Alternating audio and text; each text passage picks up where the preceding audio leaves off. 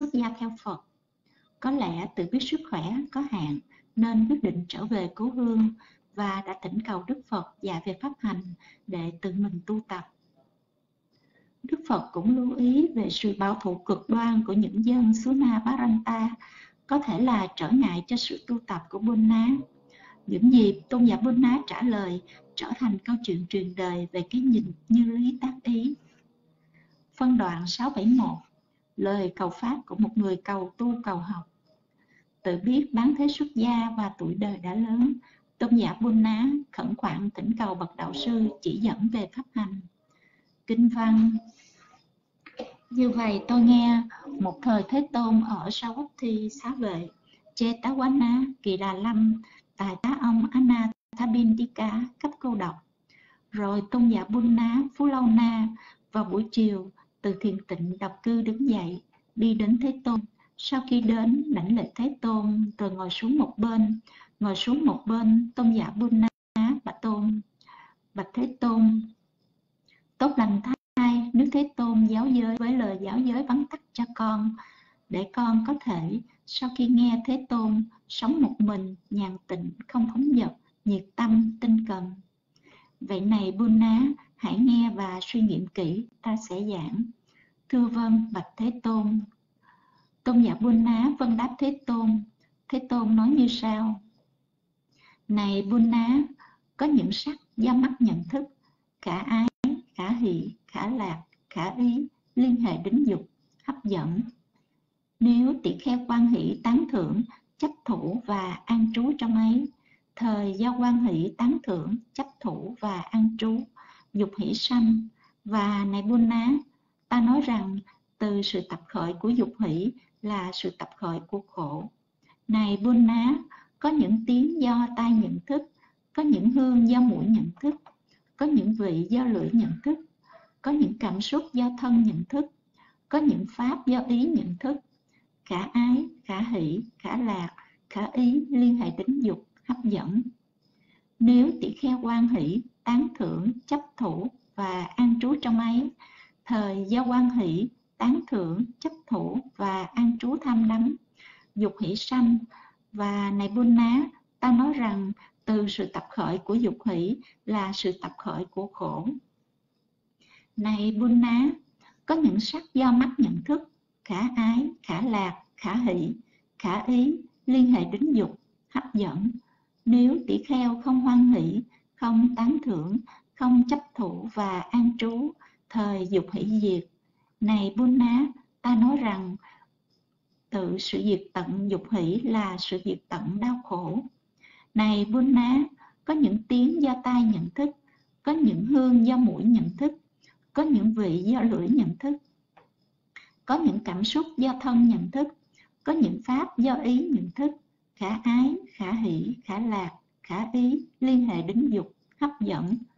Nếu tỷ kheo không hoan hỷ, không tán thưởng, không chấp thủ và an trú, thời dục diệt, thời dục hỷ diệt. Này Buddha ta nói rằng từ sự diệt tận dục hỷ là sự diệt tận đau khổ. Phân đoạn 672 vấn đề đôi khi phải là ở cái gì được thấy mà ở góc nhìn. Đức Phật sau khi hướng dẫn pháp tu đã nêu lên những câu hỏi về trú xứ Tôn giả Buddha đã trả lời bằng cái nhìn của chánh tư niệm. Kinh văn Này Buddha, ông sẽ sống ở quốc độ nào? Nay ông đã được ta giáo giới với lời giáo giới vắn tắt.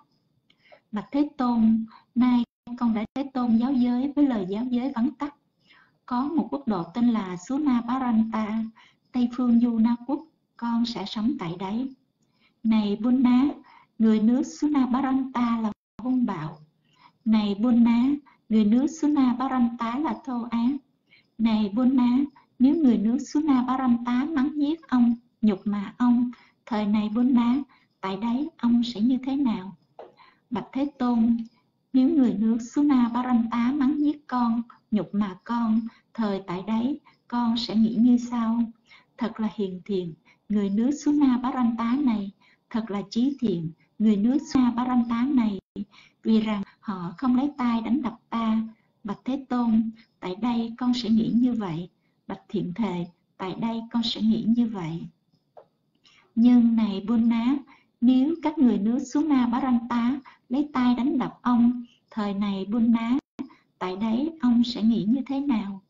Bạch Thế Tôn, nếu các người nước Suna Baranta lấy tay đánh đập con, thời tại đấy con sẽ nghĩ như sau? Thật là thiện, người nước Suna Baranta này thật là trí thiện người nước Suna Baranta này vì rằng họ không lấy các cục đất ném đánh ta. Bạch Thế Tôn, tại đấy con sẽ nghĩ như vậy. Bạch Thiện Thề, tại đấy con sẽ nghĩ như vậy. Nhưng này Bunna, nếu các người nước Suna Baranta lấy cục đất ném đánh ông, thời này Bunna, tại đấy ông sẽ nghĩ thế nào? Bạch Thế Tôn, nếu các người nước Suna Baranta lấy cục đất ném đánh con, thời tại đấy con sẽ nghĩ như sau. Thật là hiền thiện các người nước Suna Baranta thật là trí thiện các người nước Suna Baranta vì rằng họ không lấy gậy đánh đập ta bạch thế tôn tại đấy con sẽ nghĩ như vậy. Bạch thiền thệ tại đấy con sẽ nghĩ như vậy nhưng này Bunna nếu các người nước Suna Baranta lấy gậy đánh đập ông thời này Bunna tại đấy ông nghĩ thế nào thế tôn nếu các người nước Suna Baranta lấy gậy đánh đập con, thời tại đây con sẽ nghĩ như sau.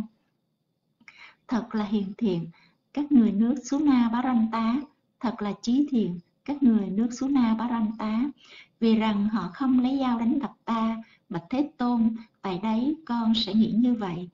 Bạch Thiện Thề, tại đấy con sẽ nghĩ như vậy.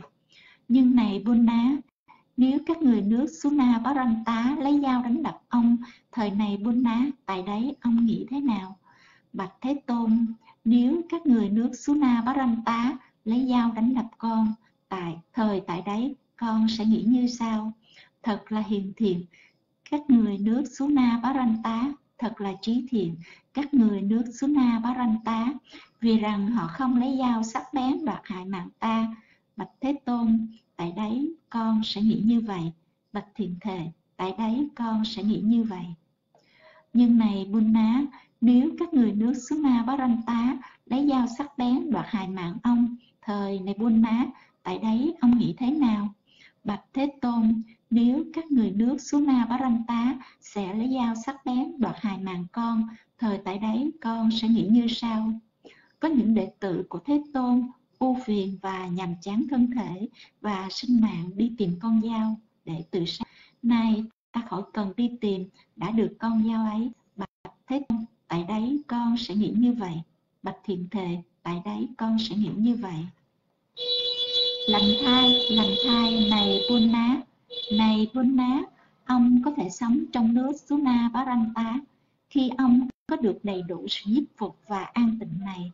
Này buôn ông hãy làm, ông nay hãy làm những gì ông nghĩ là hợp thời phân đoạn 673 là tân tỳ kheo nhưng có hành trạng của một vị trưởng tử như lai mặc dù tu chưa lâu, nhưng tôn giả Bôn Ná thể hiện đầy đủ những điểm đáng kính trọng trong sự học pháp hành pháp, chứng pháp và hoàng pháp.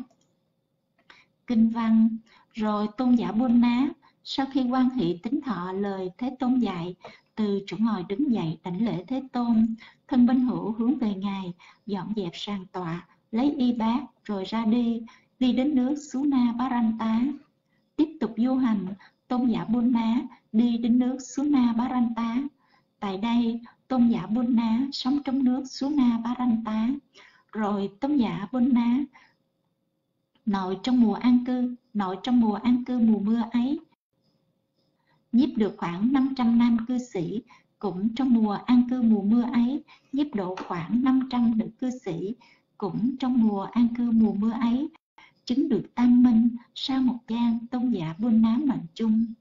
Rồi một số đông tỷ kheo đi đến thế tôn, sau khi đến đảnh lễ thế tôn rồi ngồi xuống một bên, ngồi xuống một bên, các tỷ kheo ấy, bạch thế tôn. Bạch thế tôn thiện nam tử Buddha ấy, sau khi được Thế Tôn giáo giới với bài giáo giới vắn tắt, đã mệnh chung, sanh thú của vị ấy là gì, đời sau của vị ấy như thế nào. Này các tỷ kheo, thiện nam tử ná là bậc hiền trí, vị ấy thực hành pháp và tùy pháp. Vị ấy không phiền nhiễu ta với những câu hỏi về pháp này các tỷ kheo thiện nam tử buôn ná đã nhập niết bàn. Thế tôn thuyết giảng như vậy, các tỷ kheo ấy quan hệ tính họ lời thế tôn dạy. Dạ dạ sa thú con, chúng con thành kính, cung thịnh thượng tọa pháp đăng. Tỷ kheo, từ bi thuyết giảng bài học hôm nay nó mô bụt thầy giá.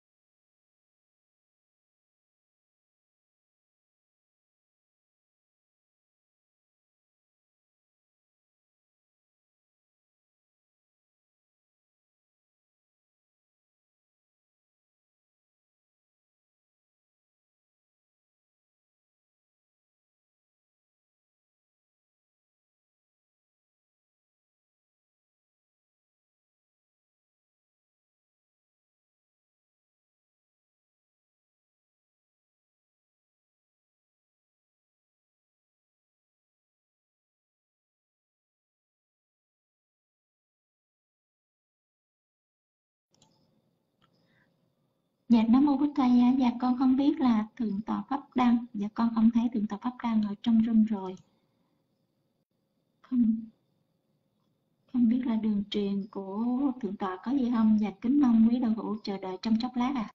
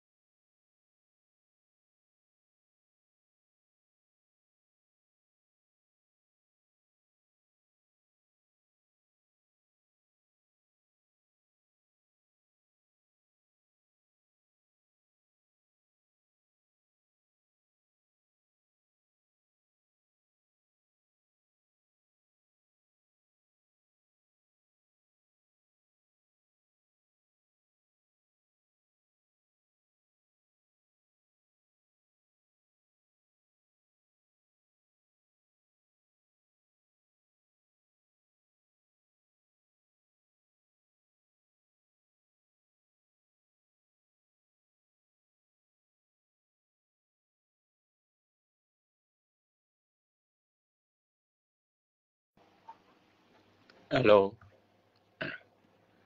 Alo quý vị nghe được không? Dạ. À, nãy vừa à, nghe à, cô tu nữ à, tình hành đọc thì à, nó cứ quay vòng vòng vòng vòng mà cô thả mít rồi cũng không cầm mít lại được. À, thành ra phải à, tắt máy khởi động lại. À, khởi động lại mình cũng phải chờ nó quay quay. Đường nét sao nó yếu quá. Dạ, Nam mô Bụt Thầy giá, à, Nam mô Tham Ma giá, Nam mô Sang Khai giá. Dạ, con pháp đăng kính đảnh lễ Đức Phật, Đức Pháp, Đức Tăng. Kính đảnh lễ thượng tọa Tề Siêu, thượng tọa Giác Đẳng, để Đức Tề Tri, Sư Nguyên Thông cùng với chư tôn Đức Tăng Ni. Dạ, kính chào quý bà cô tu nữ, kính chào Phật tử. À, bữa hôm nay thì à, mình học à, cái bài kinh Trung Bộ số 145, à, à, kinh giáo giới à, Phú Lô Na, Bùn Nô Quả Đa, Sutta. Thì à, quý vị đã nghe Ờ, cái lời dẫn nhập của ngài à, thượng tọa thầy Siêu cũng như giọng đọc của cô tịnh nữ, cô tu nữ à, tính hạnh tình hạnh Thì à, chúng ta biết rằng đối với một cái vị hữu duyên, một cái người có cái duyên trong cái sự tu tập mà trải qua cái thời gian dài trong cái sự thực hành thiện pháp mà ba la mật à, bây giờ thì gặp được à, Đức Phật. À, đó là một cái à, người thương buôn có tên là Buôn nát ở cái vùng mà chúng ta có thể hiểu à, theo cái bài học hôm nay đó thì là vào Miến Điện. Và đã đi buôn đường xa à, đến kinh thành Sawathi ở chỗ có Đức Thế Tôn à, cùng với tăng chúng. Và tôn giả Buôn Ná đã được nghe một cái bài pháp và trong cái lời dạy của Đức ờ, Đức Phật à, thì tôn giả đã thực hành à, đã thực hành và thực hành à, ở trong cái lời dạy Đức Phật à, theo như à, trong trưởng lão tăng à, tăng kệ đó thì à, cái phẩm à, thứ bảy đó cái câu chuyện số 11 có nói về à, Bùn Ná ở xứ Ba Thành Tá. Và cũng trình bày về cái sự học của ngài à, khi được nghe pháp rồi ngài ở là được xuất gia. Và xuất gia một cái thời gian thì ngài được các vị giáo thọ sư rất là thương.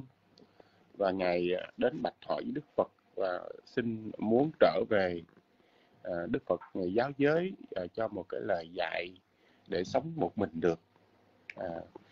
Và trong bài giáo giới sống một mình thì chúng ta nghe Đức Phật ngày nói về các cái giác quan. À, chúng ta thấy mắt à, do à, do có mắt và có cảnh sắc. Nếu chúng ta nhìn vào những cái bài pháp mà chư Phật giác ngộ đó thì à, trong bài pháp về 12 nhân duyên đó à, thì chúng ta cũng thấy được à, hệ có nhân này à, thì sẽ có cái duyên. À, chúng ta có mắt thì có cái cảnh sắc. À. và cảnh sắc như vậy thì chúng ta có cái tâm nhãn thức à, để nương vào cái cảnh sắc để bắt lấy cảnh sắc. À, mưa nương vào mắt để bắt lấy cảnh sắc. Và khi mà chúng ta à, biết được à, cái sự khổ đau hay là cái sự à, trận đứng khổ đau mình gọi là tu tập hay là không tu tập đó thì mình thấy rằng mắt à, có cái sự tu tập mà thì đời sống của vị xuất gia là có thu thúc lục căn mắt đối với cảnh sắc là nhãn căn Ờ, đối với cảnh thinh là nhĩ căn, mũi đối với cảnh khí là tỷ căn ờ, miệng đối với cảnh vị ờ, thiệt căn. Những cái tâm nhãn, thức, nhĩ thức tỷ thức, thiệt thức, thân thức hay là những tâm ý thức do cái cảnh ngủ nhớ lại từ cái mắt thấy tai, mũi mũi, miệng nếm thân xúc chạm. Chúng ta thường liên tưởng đến những cái cái cảnh mà đã trải qua hay là cái cảnh hiện tại à, có thể là hấp dẫn đến mình. À, mà thường thì quý vị nghe đó và cũng nhớ đó cái, cái gì mình thương nhất đó thì mình cũng rất là khó quên. Và cái gì mà mình ghét nhất thì cũng rất là khó quên. Đó là do sắc tưởng à, hay là tin tưởng khí tưởng vị tưởng xúc tưởng hay pháp tưởng. Những cái gì mà chúng ta à, thấy nghe đó thì chúng ta tiếp thu và có cái tưởng là từ vững uh, sanh khởi và tưởng đó mà nếu không có tu tập đó, thì chúng ta biết đó là tưởng đảo và tâm mà không có tu tập đó, thì tâm điên đảo. Và cái nhìn không có chúng ta gọi là kiến điên đảo. Ừ. vì vì uh, tưởng điên đảo là cái sự thấy uh, thiên về ác bất thiện pháp uh, như là tham dục trong mắt. Uh, hay là không có vừa lòng thì sân uh, hay là không biết là si uh, trong mắt tai mũi lưỡi à, với cái tưởng mà không có tu tập 10 pháp tưởng như Đức Phật này dạy. À, với tâm mà tâm không có tu tập đó thì à, tâm bị lôi kéo à, theo cái các cái sắc đối với tâm nhãn thức. À, à, đối với cảnh thinh là tâm nhĩ thức hay đối với cảnh khí là tâm tỷ thức đối với cảnh vị là tâm là thiệt thức. Đối với cảnh xúc là tâm thân thức đối với cảnh pháp là tâm ý thức. Như vậy thì đức phật ngày giáo giới à, cho cái sự liên quan à, trong cái đời sống à, có thu thúc và có tu tập. Và phải có một cái sự tác ý mà chúng ta gọi là tuệ cái sự khéo tác ý. À, và cái à, cái tưởng có tu tập đó, thì à, liên quan đến những cái pháp tưởng tâm có tu tập là tâm thu thúc. Và cái à, kiến à, có chánh kiến đó là kéo tác ý à, đến những cái gì là sự thật do mắt thì tất cả cảnh sắc cũng bị biến hoại với thời gian. À, những cái âm thanh cũng vậy à, những cái hơi mùi. À, và chúng ta bị lôi kéo do cái cảnh sắc này vào trong các cái sự lôi kéo đó sanh lên các cái sự hỷ ái tham muốn.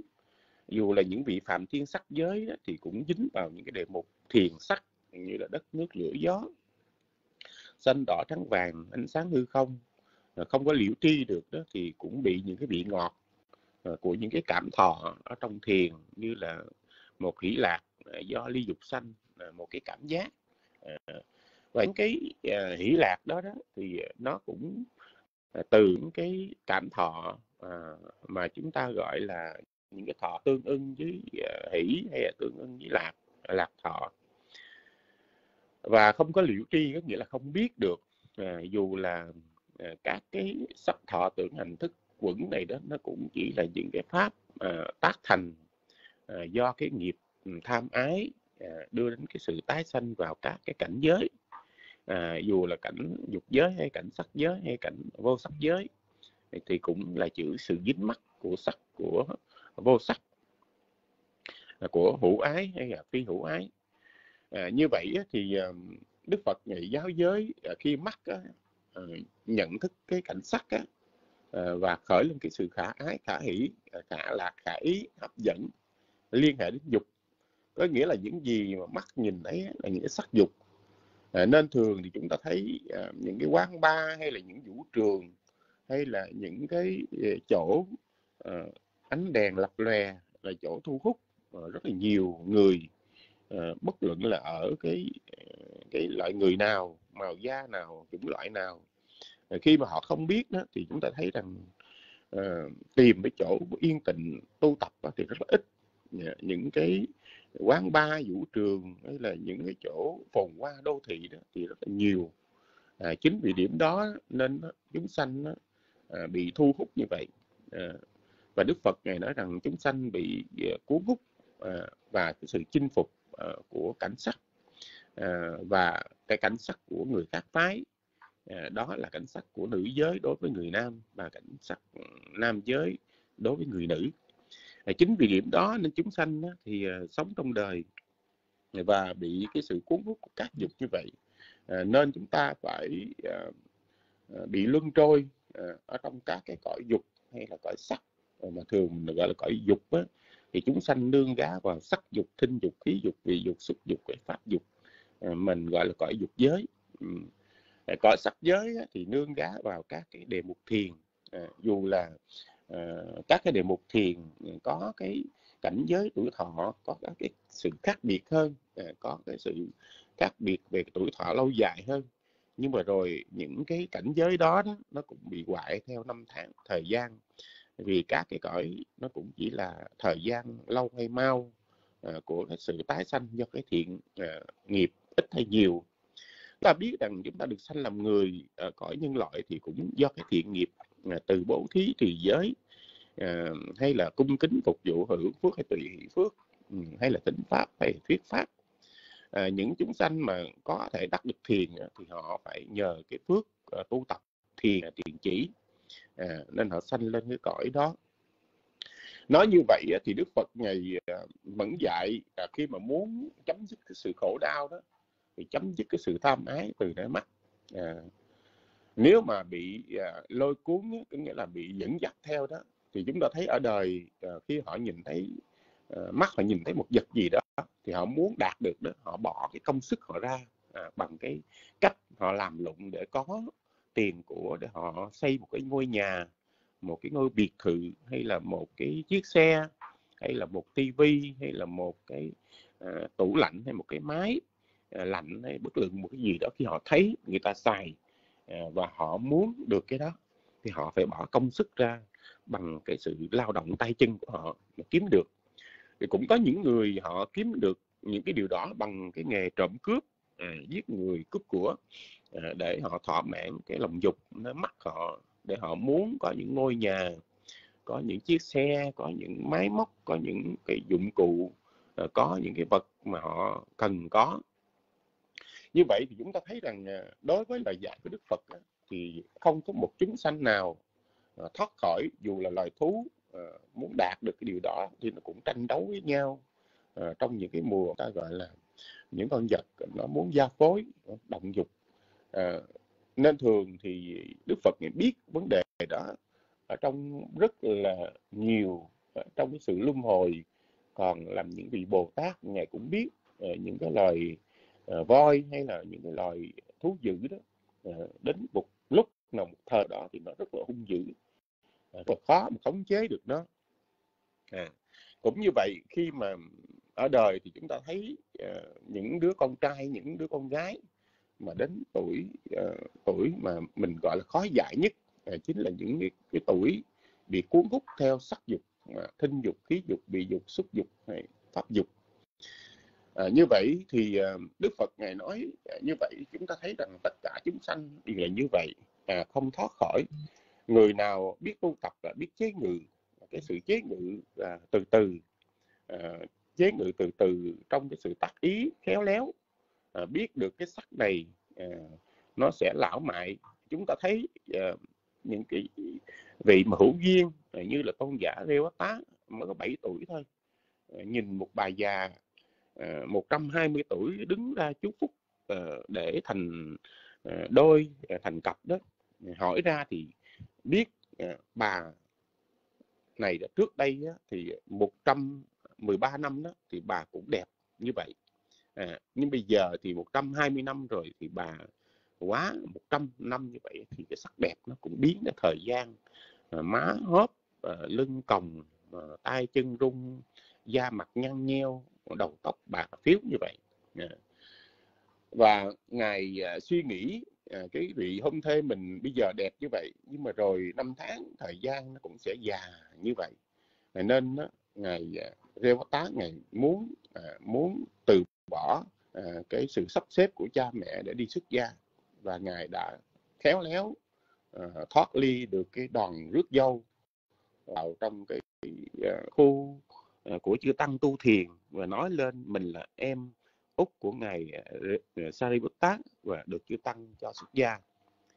Nói như vậy thì chúng ta thấy rằng uh, những cái vị mà có duyên đó thường khó cái thường có một cái sự khéo tác ý à, nhìn với cái sự nhìn có có tuệ với cặp mắt biết nhìn và biết à, suy nghĩ ờ, theo cái nhìn chính đáng à, vì mỗi người với thời gian năm tháng cũng già rồi già cả như vậy cũng bao nhiêu sự bệnh hoạn cái sự di chuyển khó khăn sự đi đứng cần người nở cái sự sống cần người chăm sóc như vậy thì đó là một cái sự à, khéo léo à, của à, những cái vị mà có cái trí tuệ do cái sự tu tập từng đã tu tập rồi. Bây giờ các vị đó khéo léo như vậy. Và tôn giả Buôn Ná cũng là một vị đã từng tu tập, nên khi mà Đức Phật ngày nói về cái dục hỷ là tập khởi của sự khổ, thì ngài đã hiểu biết. Và đối với tai cổ tai đối với cảnh thinh hay là lỗ mũi đối với cảnh khí hay là miệng à, lưỡi đối với cảnh vị hay là thân đối với cảnh xúc hay là tâm đối với cảnh pháp. Thì cái sự uh, phát sanh lên khả hỷ khả ái khả lạc khả ý hấp dẫn đó liên hệ đến dục đó à, và những cái vị nào mà quan hỷ tán dương à, chấp thủ thì vị đó do cái dục hỷ đó à, sẽ là tham đắm à, dục hỷ đó sẽ là cái sự lôi kéo vào bất cứ à, cái nghề nghiệp nào, cái sự à, hành trì nào để đạt được những cái sự ước muốn đó. À, và cái sự sanh tử luân hồi là cái kết cuộc của những người không có không có biết chế ngự mắt, tai, mũi, lưỡi thân, tâm. Như vậy thì tôn giả Buôn Ná đã được nghe và đã khéo tác ý đến lời dạy của Đức Phật. Và à, khi mà nghe à, khéo tác ý à, thì ngài đã nhận thức được à, toàn diện cái sự chấm dứt khổ đau à, hay là cái sự à, hình thành khổ đau cái sự chấp thủ cái sự khả ái khả lạc khả hỷ khả ý hấp dẫn à, lệ đến sắc dục tinh dục khí dục vị dục xúc dục à, pháp dục đó. À, nếu người nào à, quan hỷ tán thán đó thì người đó phải à, liên hệ đến những cái dục đó và những cái sự đau từ dục đó mang lại à, thì rất là nhiều. Và cái sự đau khổ dây dẳng đó là cái sự liên hệ đến luân hồi à, đến liên hệ đến sự tái sanh à, không có thể nào chấm dứt được. Như vậy thì đức phật ngày đã dạy và cái sự nhận thức à, do cái sự trải qua và có cái sự nhận thức à, khéo léo có cái sự tu tập à, như lý. À, với lời dạy của đức phật à, khi mắt à, đối với cảnh sắc hay là tai, đối với cảnh thinh mũi đối với cảnh khí, miệng đối với cảnh vị, thân đối với cảnh xúc hay là tâm đối với cảnh pháp. Như vậy thì Đức Phật ngày dạy cái sự chấm dứt, là cái sự chấm dứt từ cái cái cảm thọ mà sanh lên cái cái sắc dục hay là thinh dục trong mắt là sắc dục, trong tai là thinh dục, trong mũi gọi là khí dục trong lưỡi gọi là vị dục trong thân gọi là xuất dục và trong tâm gọi là pháp dục. Như vậy thì cái sự dục đó, đó nó sẽ là cái sự nhiệt não. À, dục nó sẽ là một cái sự thiêu đốt. À, dục là một cái sự à, lôi cuốn. À, nên thường thì chúng ta thấy Đức Phật này thí dụ à, những cái à, những cái dục à, là những cái tham dục cái đó ví dụ như là đầu con rắn độc hay là uh, giống như là cái vật mượn đồ xài hay là cái đuốc uh, rơm đi ngược gió uh, những cái tai họa từ những cái dục đó mang lại rất là nhiều đối với chúng sanh. Như vậy á, thì uh, tôn giả Buôn Ná đã hiểu uh, và đã khéo léo tác ý uh, đến lời dạy của Đức Phật để tận diệt cái sự khổ đau.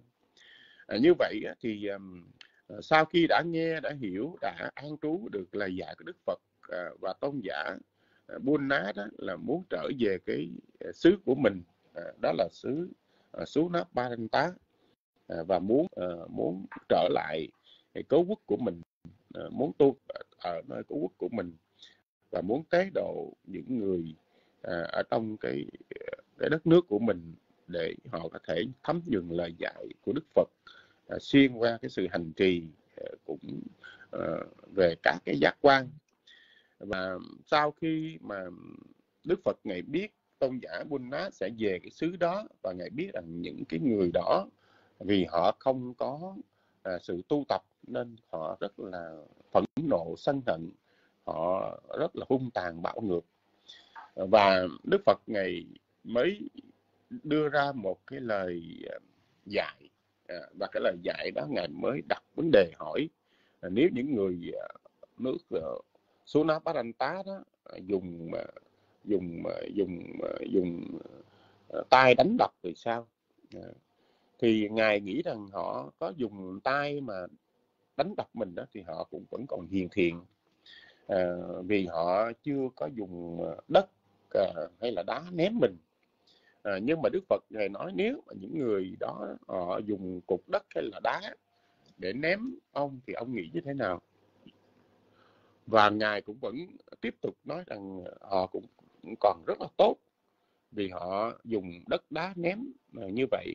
Nhưng mà họ ờ, ném như vậy nhưng mà con nghĩ họ cũng còn rất là hiền thiện và họ không có lấy gậy lấy để đánh đập. Và Đức Tôn nói rằng nếu mà họ uh, lấy gậy lấy cây đánh đập uh, thì ông nghĩ như thế nào? Uh, và ngài Bun Nát ngài vẫn nghĩ rằng những người đó rất là tốt vì họ lấy cây gậy đánh đập như vậy. Nhưng mà họ chưa có lấy ờ, lấy dao để đoạt mạng. Ừ. thì chính vì cái sự khéo léo suy nghĩ như vậy à, nên đã à, nói lên à, những cái tâm tư của mình khi mà bị những cái nghịch cảnh. Bởi thường thường chúng ta biết rằng một cái hình bóng của một cái vị tu sĩ đó ở trong cái xứ sở nào đó cũng là cái sự uh, nhìn và cái sự nhìn đó, đó đối với những người mà họ không có lòng tin đó thì đối với họ là cái sự khó chịu. Nên thường thường uh, có nhiều cái cái cái sự mà nhận diện của con người đó sai lầm khi họ nghĩ thấy tu sĩ hay đạo sĩ là cái sự xui xẻo. Họ có những cái suy nghĩ như vậy. Và chính những cái sự, sự suy nghĩ đó đó nên chúng ta cũng biết rằng những cái xứ sở nào mà họ có những cái tư duy sai lầm thì họ à, có những cái ác cảm à, với những cái vị tu sĩ. Và cái người xứ à, số ná bát thanh tá là những người có cái ác cảm như vậy. Và đức thế tôn ngài biết nếu mà tôn giả buôn ná đã có cái sự nhẫn nại có cái sự khéo léo tác ý gì đó thì ngài sẽ hoàn thành được cái việc hoàn pháp và tế độ à, những cái người tử xuống ná ban anh tá này. À, khi mà đức thế tôn ngài nói nếu họ lấy dao mà họ đoạt mạng ông thì ông nghĩ thế nào? À, thì tôn giả buôn ná nói rằng à, ở trong đệ tử của đức phật đó thì có nhiều người đó muốn tìm con dao à, vì những cái à, cái cảm thọ đau đớn lúc mà à, kiệt quệ sinh mạng đó. À, nghĩa là chúng ta hiểu cái bệnh mà đưa đến cái sự chết đó, à, những cái cảm thọ đau đớn đó đó thì những vị đó phải đem cái con dao phải đi tìm con dao để đoạt mạng của mình. Và tôn giả buôn nói rằng con không cần đi tìm mà nó vẫn có. À, nó vẫn có có nghĩa người ta dùng dao để đoạt mạng con thì con nghĩ như vậy là cũng rất là tốt. À, vì à, à có người phải đi tìm con dao để, để tự sát còn mình thì không cần phải tìm con dao mà có người họ giết mình. À. thì như vậy thì Đức Phật thì biết rằng à, cái sự hung tàn bạo ngược của con người đó thì nó cũng có một mức độ à, nhưng mà mình nhẫn nại như vậy đó thì không có phẫn nộ đó chính cái đức tu đó sẽ làm à, cái à, cái sự tỏa sáng làm cho người ta có một cái sự uh, xúc động tâm tư khi mà họ có những cái lời mắng chửi mình không có phản ứng. Đừng nói gì đến đánh đập hay hành hạ mình. Nếu mà mình có cái sự nhẫn nại thì đó là những cái điều mà mang lại cái sự uh, tế độ cho người. Vì họ nghĩ rằng uh, một con người mình có đánh đập mình có hành hạ nhưng mà họ không có hận thù mình. Họ không có những cái lời nói không không có những cái cử chỉ hận thù mình. Thật sự là những người này ờ, có một cái nội tâm hiền thiện. Là chính vì điểm đó nên tôn giả Buddha đã lãnh hội được lời dạy của Đức Phật từ cái nội tâm an tịnh. Và cái nội tâm an tịnh uh, nếu mà cái nội tâm an tịnh đó, thì sẽ là một cái sự hoằng pháp hữu hiệu. Dạ. Thì quả thật như vậy um, ngài buôn ná ngài trở về cái xứ sở của mình à, và ngài đã hành trì à, theo cái lời dạy của đức phật. Và cuối cùng thì với cái phước duyên à, ở trong cái sự hành trì của ngài đó ngài đã độ được những người nam nữ cư sĩ này. Thì chúng ta biết rằng ở trong đời vẫn có những người nam nữ cư sĩ là những người đã tu tập. Mà bây giờ họ gặp lại những cái hình ảnh tu sĩ thì họ cũng có cái sự phát tâm ừ, hành trì. Và chính những cái người à, nam nữ cư sĩ này ở cái xứ xứ náp Tá à, họ đã quy y họ đã là đệ tử của tôn giả Buddha à, với cái lời dạy à, với cái hành trì để tiếp độ à, những cái người nam nữ cư sĩ à, với cái tâm tư Ờ, thật lòng hành trì để đoạn tận khổ đau. Thì ờ, một thời gian không lâu đó thì tôn giả Buddha đã đạt được tam minh. Thì chúng ta biết rằng tam minh đó có sanh tử minh ờ, có túc mạng minh và có cái lậu tận minh. À, như vậy thì một cái vị mà chứng được như là thiên nhãn minh hay là sanh tử trí đó thì biết được cái sự sanh tử của mình và cũng biết được tất cả cái sự sanh tử của những loài hữu tình với cái năng lượng với cái khả năng của một vị thánh đệ tử à, như là ngài Buddha à, hay là có thể à, có à, túc mạng trí minh đó là nhớ lại nhiều đời nhiều kiếp. À, thì những cái à, chuyện như vậy đó những lời dạy như vậy nó có một cái ý nghĩa sâu sắc. Bởi vì thường thì chúng ta thấy ở đời mà nếu có ai đó mà à, có cái sự hiểu biết À, về cái sự sanh tử nói lên cái sự sanh tử của mình chỉ cần năm bảy đời thôi thì mình cũng bị rúng động. À, thì um, chúng ta cũng thấy à, rất là nhiều những cái câu chuyện uh, của những cái vị uh, thiện nam tín nữ uh, của Đức Phật mà nhớ lại một vài kiếp năm ba kiếp thì những vị đã cũng xúc động và cũng muốn từ bỏ uh, cái đời sống uh, để xuất gia tu tập tiếp tục uh, để đạt được cái sự giác ngộ giải thoát à, chính vì à, khi mà hiểu được á, như vậy đó thì chúng ta thấy à, từ những cái vị mà tu tập thiền định á, mà họ đạt được cái túc mạng minh á, à, thì họ nhớ lại nhiều kiếp. Thì cái sự sanh tử luân hồi đó lặp đi lặp lại cũng giống như nhau. Nhiều khi mình nghe à, những cái bài pháp nói qua cái chuyện luân hồi mình chưa có ngẫm nghĩ nhưng mà những người trải qua rồi họ có thể ngẫm nghĩ à, 80 năm mình phải làm lại cái việc à, như là cái việc đầu tiên. À, từ cái việc mà học hành rồi từ việc mà ăn nói à, từ cái việc mà mặc à, ăn ở rồi những cái cách những cái cách sống đó mình phải làm lại từ đầu cứ 80 năm hay là 100 năm mình phải lặp lại một lần như vậy. Thì quả thật cũng là cái sự cần suy nghĩ với cái sự luân hồi như vậy cái sự lặp đi lặp lại. Nếu một người mà có cái sự suy nghĩ cũng giống mỗi ngày mình sống và làm những cái việc lặp đi lặp lại cũng như vậy. Nhưng mà chúng ta có một cái sự suy nghĩ rằng chúng ta đoạn tận những cái phiền não ờ, trong mỗi ngày để cái luân hồi nó ngắn lại. Còn nếu chúng ta không hiểu đó thì ờ, chúng ta thấy mỗi ngày chúng ta cũng chỉ làm những việc như vậy. Rồi chúng ta cũng ngủ nghỉ rồi năm tháng ngày giờ đến lúc nào đó chúng ta mệnh chung. À, nếu chúng ta có sự suy nghĩ như vậy thì chúng ta cũng bị xúc động à, với cái đời sống luân hồi không có gì là cái chỗ nương tựa. À, nhưng mà hữu duyên là chúng ta được nghe lời dạy của đức phật và chúng ta phân biệt được thiện ác. À, chúng ta biết rằng một người sống họ tích lũy ác thì họ sanh vào đọa xứ. À, còn một người sống và tích lũy thiện nghiệp à, thì sanh làm người làm chư thiên. À, và cũng có duyên để hành trì à, chấm dứt cái sự khổ đau với lời dạy của Đức Phật à, như vậy thì đó là một cái điều mà à, tất cả mọi người chúng ta cần phải có cái sự suy nghĩ như vậy. Và tôn giả Buddha ờ, đã một thời gian đạt được tâm minh và ngài đã đã mệnh chung. Và chư tỳ khu á, chư tỳ khu um, biết được ngài buôn ná ở xứ uh, ban Tá đã mệnh chung thì muốn hỏi uh, Đức Thế Tôn về cái sự mệnh chung của ngài buôn ná và Đức Thế Tôn ngày dạy à, cho chư tỷ khu ngày Buôn Ná là bậc bậc hiền trí là một người hành pháp và tùy pháp à, không có thiền nhiều Đức Phật. Với những câu hỏi về pháp nữa à, thật sự ngài Buôn Ná đã nhập niết bàn có nghĩa là một vị A La Hán với tam minh.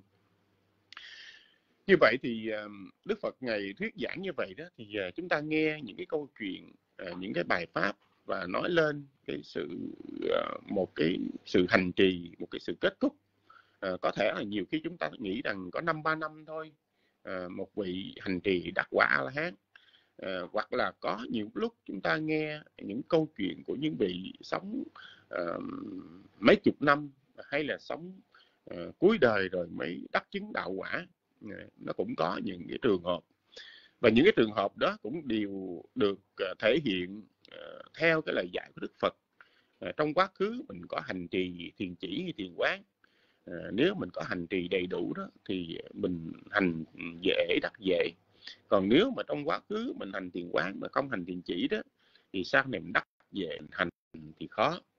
À, nếu mà trong ừ, luân hồi đó mình không hành thiền chỉ không hành thiền quán đó sau này mình hành cũng khó mà đắc cũng khó nếu những người có hành thiện chỉ mà không hành thiện quán đó, thì hành thì dễ, nhưng mà đặt thì khó. Như vậy thì à, cái việc mà Đức Phật này nói rằng à, một đời sống của người à, đến kiếp chót như là tôn giả Buddha trở thành vị thánh A La Hán của Tam Minh thì chúng ta nhìn về cái kết cuộc cuộc đời của ngài với thời gian không lâu xuất gia và với cái sự hành trì đã tế độ được nam nữ cư sĩ đã trở thành một vị ờ, đệ tử của Đức Phật, đặc biệt về cái lời giáo giới và cái hạnh tu ờ, khéo tác ý. Ờ, thì chúng ta biết rằng Đức Phật ngày cũng nói trong phẩm một pháp đó, ta tuyên bố một pháp thôi. Nếu người nào có cái sự khéo tác ý đó thì sẽ chấm dứt cái sự khổ đau. Thì đó là cái điều mà Đức Phật ngày trình bày trong tăng chi phẩm một pháp khéo tác ý là gì? Chúng ta tác ý một cách tác ý mà thiện pháp tăng trưởng. À, những cái đức tu như là nhẫn nại từ hành xã chí nguyện bố thí hay trì giới được tăng thịnh à, thì đó là cái sự tác ý à, theo các bậc thánh. Cái sự tác ý đó mang lại à, cho mình đó, cái sự sống à, có lợi ích. À, bởi vì thường thường chúng ta biết rằng ở đời thì bây giờ người ta cũng có dạy Ờ, có dạy và cũng có kể nhiều câu chuyện. À, bữa hôm qua thì chúng tôi nghe về câu chuyện của bà lão ờ, à, 96 tuổi. À, 96 tuổi và vẫn đi bán mỗi ngày như vậy. Người ta hỏi bà tại sao bà à, bà không nghĩ tuổi già? Bà mới nói rằng à, bà nghĩ mình sống không có vô dụng à, nên bà cũng vẫn tiếp tục làm những cái việc gì bà có thể làm được à, ban đêm mà đi bán như vậy. Ờ, bà cũng thu được ờ, một số tiền để giúp đỡ cho con cháu và không làm cho con cháu trở thành một cái gánh nặng. Và bà bà thấy được mình sống mà mình còn làm được cho đời đó là cái niềm vui. Và mỗi đêm như vậy bà cũng đi bán à, mỗi đêm như vậy. Thì đó là cũng là một cái cách mà người ta gọi là khéo khéo gọi là khéo suy tư ở đời nên dù họ có 90 tuổi mà họ vẫn uh, tiếp tục đi bán ở uh, ngoài chợ được ngày ngày đêm ban đêm ngày đường được. Thì uh, bởi vì cái sự suy nghĩ của chúng ta đó, đó là uh, cái sự suy nghĩ uh, mà mang lại cái lợi ích cho mình nếu mình suy nghĩ đúng đắn uh, theo lời dạy của Đức Phật mình sống làm lợi ích cho mình uh, thì cái sự lợi ích đó đó với khả năng của mình uh, mình làm lợi ích uh, cho đời bằng cái cách là trong gia đình hay trong xã hội hay là trong quần thể quần chúng đó là cái sự suy nghĩ khéo léo của mình. Nhưng mà trước hết thì mình sống vui ờ, sống được ăn. Ờ, với nhiều cái câu chuyện mà chúng tôi cũng được nghe đó thì họ, có một cái sự suy nghĩ à, chính suy cái sự suy nghĩ đó là cái động lực của họ. Ờ, và đối với Phật giáo Đức Phật gọi là kéo tác ý. Vì mình gặp cái nghịch cảnh đó, Ờ, mà từ những cái lời nói ờ, đụng chạm lời nói đó mà mình nhẫn nại được đó, thì nó sẽ qua được cái hiểm họa. Nên thường thường quý vị thấy ở đời có nhiều người họ bị đâm chết, họ bị đốt nhà hay là họ bị hành hạ đó, đều là cái sự không nhẫn nại được. Ờ, những cái lời nói qua lại, những cái ánh mắt nhìn người ta không vừa lòng nên nó chính vì điểm đó nên xảy ra cái sự xung đột và cái sự xung đột đó nếu mà mình khéo tập ý đó thì cái sự xung đột nó cũng lắng động. Bởi thường thường quý vị thấy hiện giờ đó những cái lời qua tiếng lại uh, của một số người nào uh, đó đó nó cũng làm uh, khi mà nói qua nói lại như vậy sẽ có cái sự đụng chạm uh, cái sự đụng chạm đó nó mang lại uh, cái sự đau khổ. Chỉ có những lời nói mà Đức Phật gọi là nói về Phật pháp đó, nói về cái phương pháp hành trì nói về thiểu dục tri túc, nói về độc cư thanh tịnh, nói về diệt trừ tham sân si. Đó là những cái lời nói mà nên nói, và những lời nói đó chỉ mang lại lợi ích. Như vậy thì chúng ta cũng khéo ờ, tác ý ờ, với lời dạy của Đức Phật ờ, như là trong cái bài học này nói về thiện nam tử Buddha là một vị hiền hiền trí, là một vị hành pháp và tùy pháp. Có nghĩa là hành pháp và tùy pháp đó là cái sự sống à, nương vào pháp lấy pháp làm ngọn cờ lấy pháp làm điểm tựa. Như vậy á, thì um, dù chúng ta nghe pháp lâu hay mau ít hay nhiều à, cần cái sự nhận thức à, cần cái sự hiểu biết khéo léo à, đó là cái cái mục đích đó là cái sự mà cần làm à, cho đến trọn đời như vậy. Thì kính bạch quý ngài kính thưa quý vị cái thời pháp hôm nay thì con xin trình bày Ờ, với bấy nhiêu là trình bày đối với bài kinh giáo giới phú lâu nan theo như lời ngài thượng tọa đại siêu đó thì uh, con sẽ hỏi ngài uh, ba câu và ngài thảo luận ba câu xong rồi ngài sẽ uh, hỏi uh, chúng con lại nếu có chữ tăng còn nếu không thì sẽ trả lời. Thì ở trong cái bài học hôm nay đưa vào cái bài học đó thì thượng tọa giác đẳng có đặt ra ba câu năm câu thảo luận và cái câu thảo luận số 1 đó làm thế nào và để khi mà các căn tiếp xúc với các cái cảnh cả ái là những cảnh vừa lòng của mình đó thì mình không bị uh, những cái dục nhiễm hay là những cái tham cầu.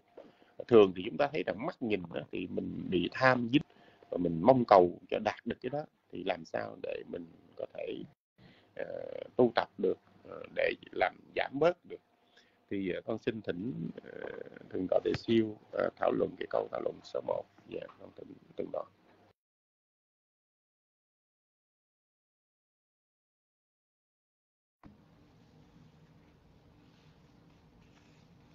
Dạ, kính thưa quý vị làm việc mà không có nhất quán. Thế này là chúng tôi rất là khó làm việc trong khi ờ, cô tính hạnh cô tịnh hạnh thì ờ, nêu lên cô sống cô thảo luận một nếu giáo pháp có thể được hướng dẫn ngắn gọn để thành tựu giác ngộ giải thoát thì tại sao sự đa văn được tán thán? Rồi trong khi đó bài gửi cho thượng tọa pháp đăng á, thì câu số 1 thì lại là làm thế nào để khi các căn tiếp xúc với các cảnh khả ái, khả ý không dục nhiễm thân cầu. Bây giờ, cả hai câu này đều là câu thảo luận một. Bây giờ chúng tôi sẽ trả lời câu nào đây?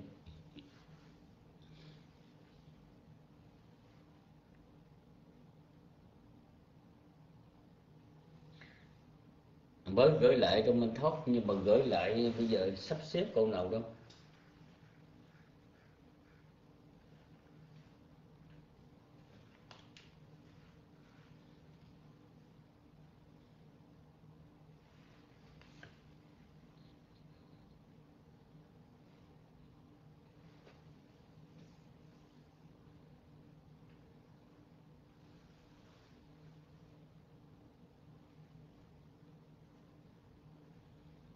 như vậy thì ờ,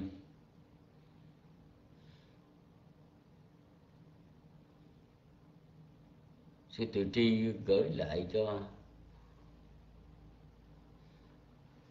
cho từ tổ pháp đăng cái ờ, cái câu thảo luận mà đúng nhất.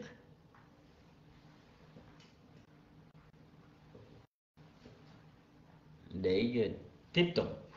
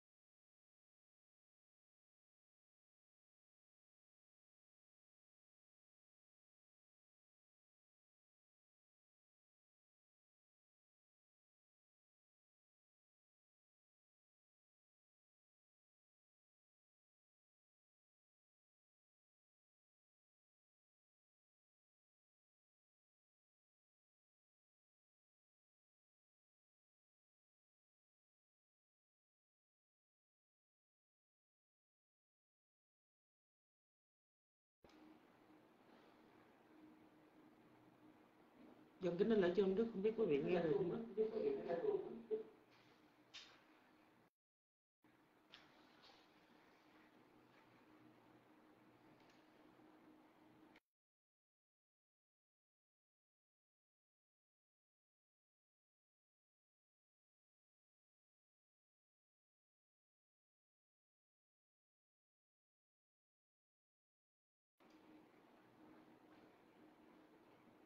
Dạ bà thưa tiểu quyền không biết là thượng tọa tiểu quyền có ở trước máy không ạ?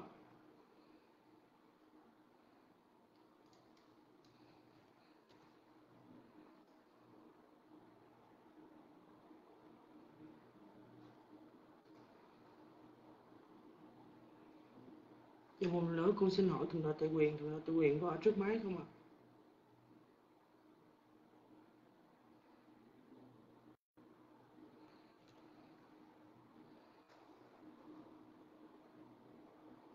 Dạ bà thượng tọa Pháp trân không biết là thượng tọa còn trước máy không ạ? à? do cái đường truyền của sư phụ tuệ Sư. ô dạ dạ, đã thấy được dẫn kính thỉnh ờ, thượng tọa tự quyền ờ, thảo luận câu số 4 ạ. Dạ, xin kính thưa thượng tọa.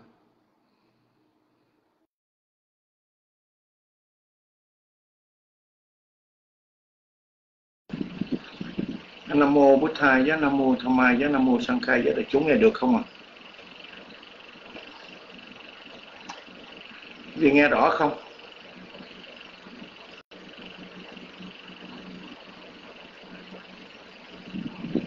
giờ cảm ơn quý vị đã báo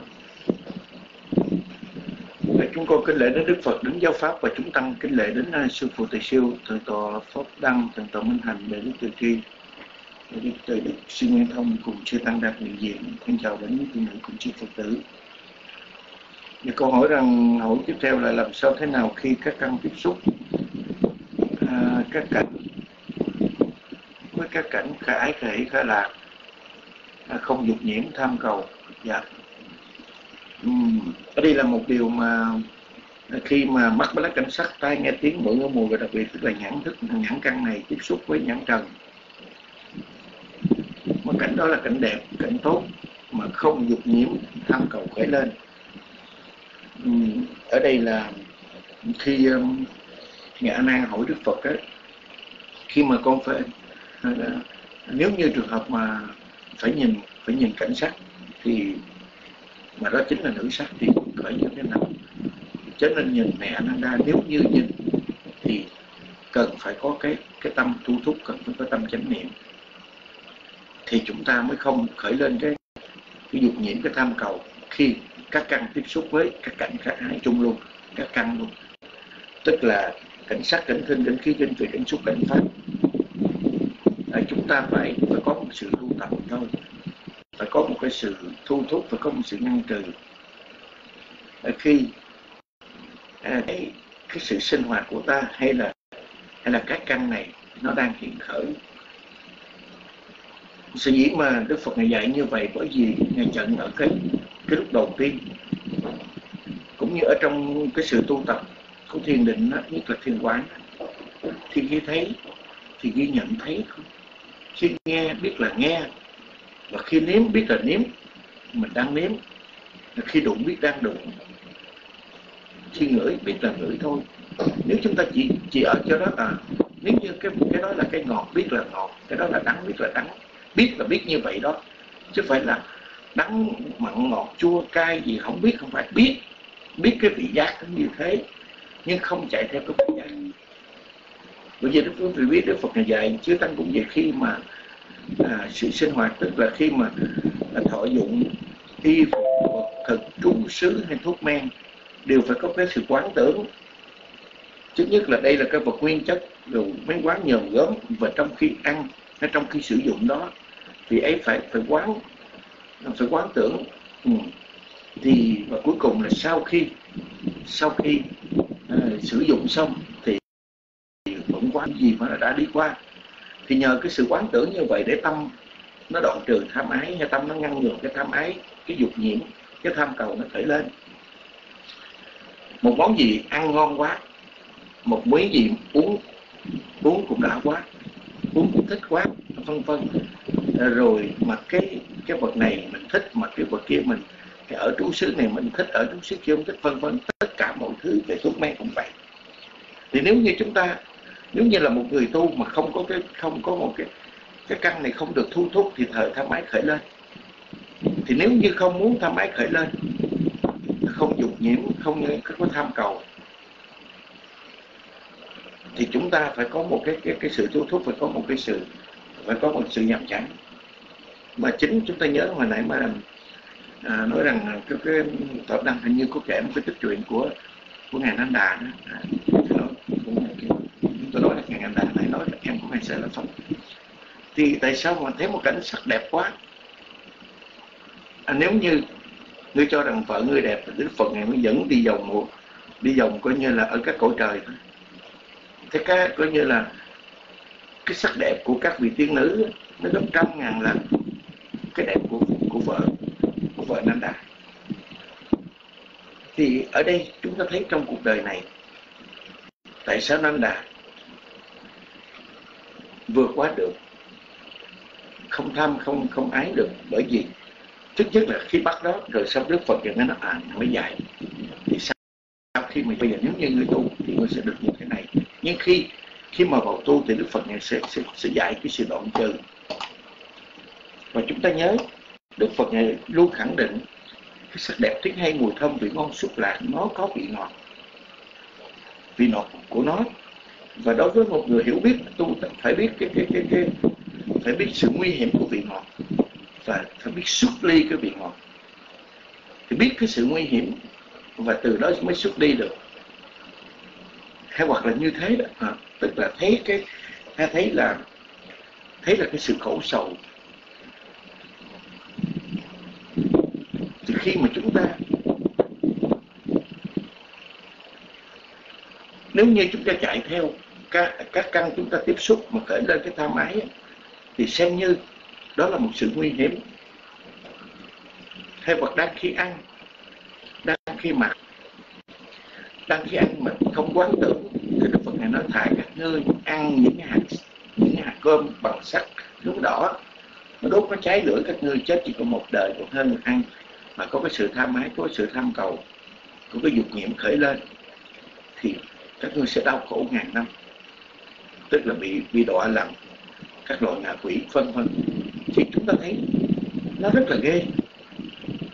Mà khi mà hiểu được như vậy, thì ấy mới từ bỏ vì ấy mới mới mới, mới, mới ngăn ngừa không cho à, không cho tất cả những cái à, cái cảnh cái cái hỷ khai lạc hay là không cho các căn này nó khi mà tiếp xúc để để cho cho ý nó khởi lên. Tức là tức là khi mà nhãn căn nhìn nhìn thì biết nhìn biết được đây nó đẹp đây nó tốt như rồi hết. Đây là cảnh sắc đẹp đây là cảnh sắc tốt đây là cảnh tinh đẹp đây là cảnh tinh tốt cảnh khí kinh vị cảnh xúc cảnh pháp cũng vậy đây cảnh nhưng vì ấy có cái sự thu thúc có cái sự nghiêm trì có một cái sự uh, tu tập. Và ở đó chính là một cái sự uh, một cái từ bỏ nó một cái sự uh, tránh né nó. Dạ, thì đó chính là nếu như làm như vậy thì vị ấy sẽ không bị cái cái đau khổ không bị cái cái cái cái cái, cái dục nhiễm hay cái tham cầu nó xuất hiện trong tâm mình và kinh bạch chưa tăng đây là cái câu trả lời. Nếu như có gì còn bổ túc thì chúng con kính thần với ngài. Dạ. Nam mô bổn thầy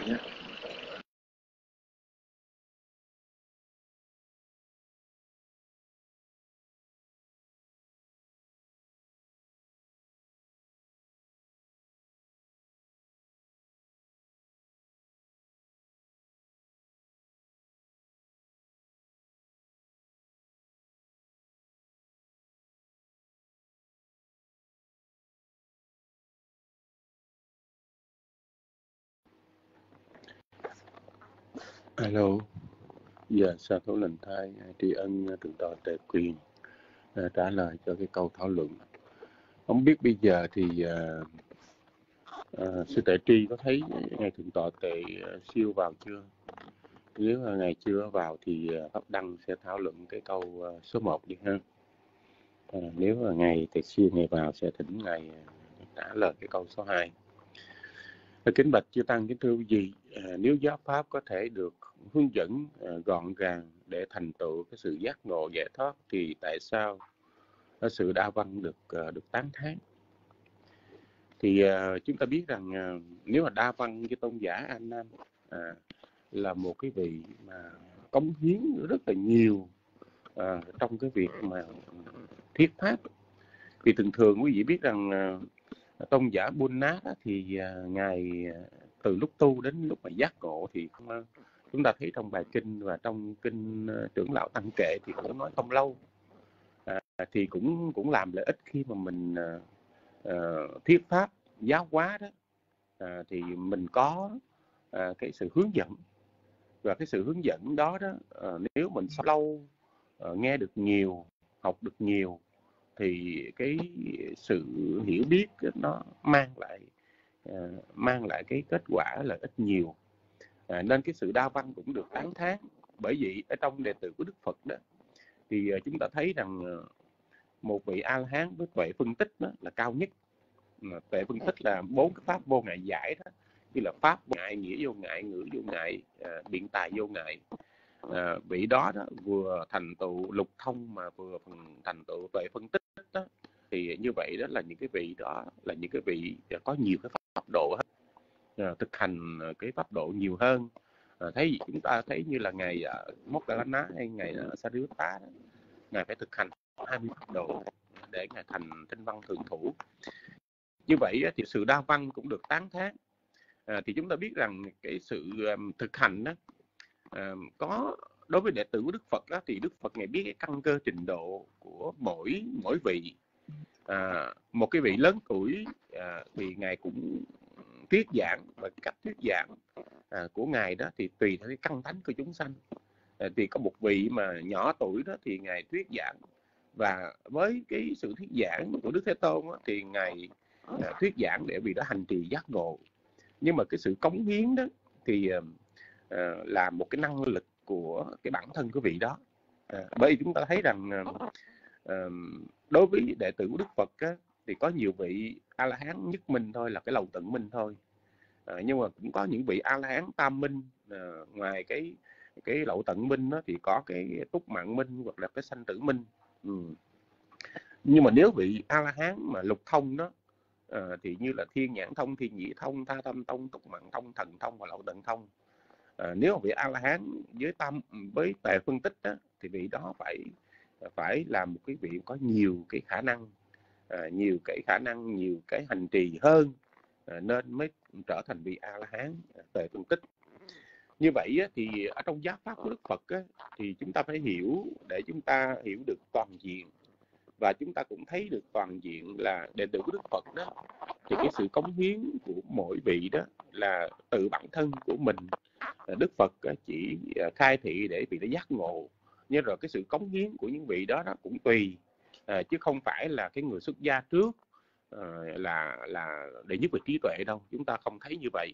À, ví dụ chúng ta thấy rằng đức phật ngày độ à, tôn giả Sariputta đó à, thì giáo hội của ngài đã có 1.250 vị rồi.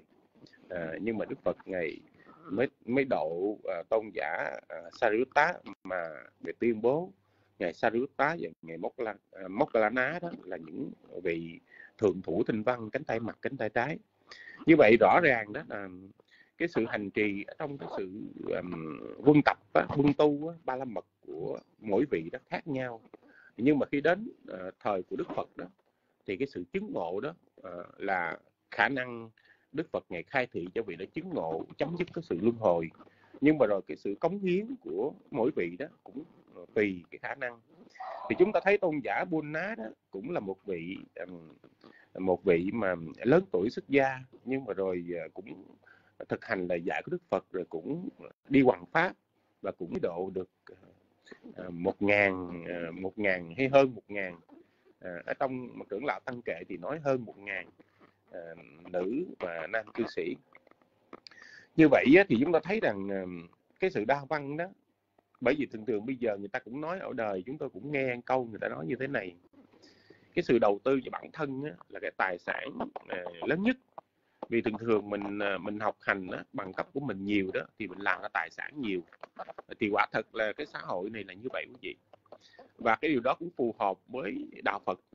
À, vì đạo Phật đó thì cái khả năng bản thân của mình đó nói lên a la hán lục thông a la hán tam minh hay là a la hán uh, ờ, tuệ phân tích đó thì tùy khả năng của mình.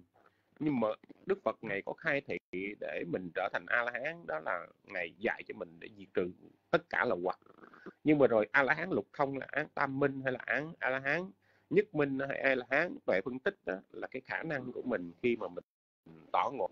Chúng ta thấy như là ngày ngày Chu Lá Banh Tá Cá đó trước khi mà chưa tỏ ngộ đó thì ngày học bốn à, câu kệ và ba tháng không thuộc. Ờ, bốn à, câu kệ mà ba tháng nhà học tới học luôn hoài cũng không thuộc rồi. Bốn câu kệ mà ba tháng.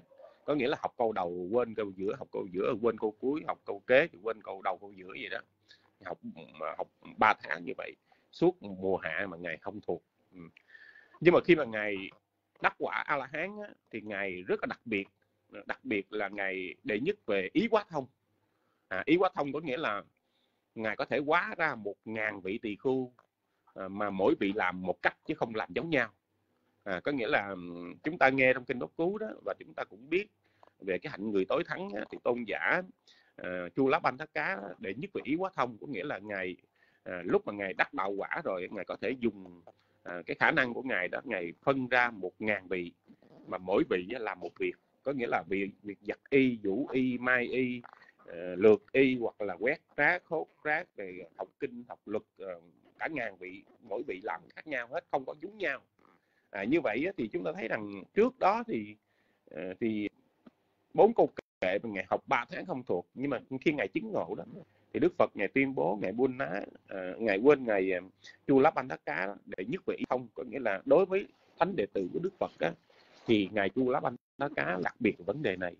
Nghĩa là ngày có thể quá là cả ngàn vị mà không làm giống nhau thì ở trong cái câu thảo luận số 1 đó thì ờ, chúng tôi xin chia sẻ như vậy ờ, bởi vì cái sự đa văn được tán thán là cái sự cống hiến hay là cái bản thân của mình đó nó là cần có lắm quý vị. À, cần có. Và cái sự cần có đó nên trong đệ tử của Đức Phật đó a la hán nhất minh a la hán tam minh a la hán lục thông a la hán tuệ phân tích a la hán tinh văn thường thủ hay là a la hán chánh đẳng chánh giác độc giác đó cũng tùy theo cái ờ, cái, cái sự đa văn hay cái sự hành trì của mình trong cái sự luân hồi. À, thì đó là cái câu trả lời câu số 1 à, bây giờ thì à, à, bây giờ thì à, con xin à, xin hỏi cái giờ quý vị đưa lên cái câu số 2 đi. Tại vì à, chúng tôi à, đang thảo luận thì không có coi số 2 được. Bây giờ cái câu số 2 có lẽ là bây giờ thỉnh uh, nếu mà thỉnh ngày ờ, đừng tọa đề siêu nếu ngày còn không lớp học thì ngày thảo luận. Còn nếu không có ngày đừng tọa đại siêu đó thì thỉnh ngày đừng tọa đại quyền. À, thì cái câu thảo luận số 2 là tại sao những chúng sanh à, ba bậc đã đầy đủ để viên mãn đạo quả nhưng trong kiếp chót mãi đến lúc mà sắp mệnh chung thì mới thành tựu đạo quả? À, do à, cái câu này thì uh, thỉnh ngày thượng tọa đề siêu uh, giảng dạy. Nếu mà ngày thượng tọa đề siêu không có thì uh, thỉnh thượng tọa đề quyền đi ha. À, thỉnh thượng tọa đề quyền uh, cái này. Bởi thường thường chúng ta thấy um, đệ tử của đức phật thì có những vị mà xuất gia rất là sớm cũng uh, rất là lâu như tôn giả chanh đá đó. Uh, nhưng mà uh, suốt cái lúc mà có đức thế tôn thì ngài cũng có đắc đạo quả gì hết. Cho đến lúc mà đức thế tu mình viên tịch rồi ba tháng sau đó à, uh, chư tăng cái hành trì cái hạnh à, một cái phạm đàn à, là không có tỳ khu nào nói chuyện với tôn giả chanh đá. Thì tôn giả chanh đá mới đắc quả là hán. Như vậy á, thì um, trong cái câu thảo luận số 2 này muốn thỉnh thượng tọa tề quyền chia sẻ um, tại sao là có những cái chúng sanh cũng đầy đủ ba la mật được? Có nghĩa là ngay trong kiếp này cũng đắc đạo quả. Nhưng mà đến lúc mà mệnh chung hay là gần mệnh chung thì mới đạt được đạo quả à, tỉnh thượng tọa tề quyền nếu mà ngày thượng tọa tề siêu không có thì tỉnh thượng tọa tề quyền trả lời.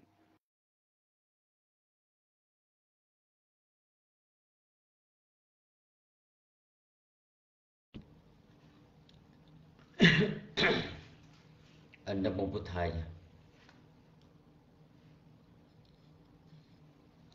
Có lẽ thượng tọa Đăng Ờ, sử dụng iPad nên không thấy được ờ,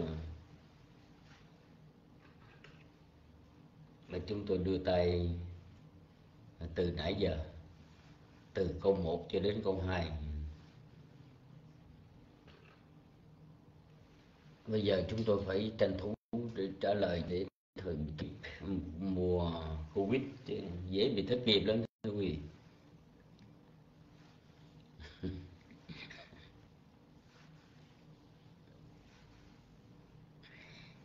À, kính bạch chư tăng kính thưa quý vị.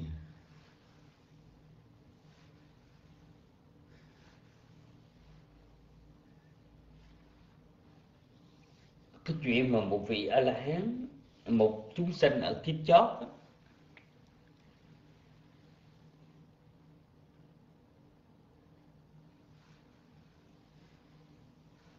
mà đầy đủ ba la mật để duyên thành đạo quả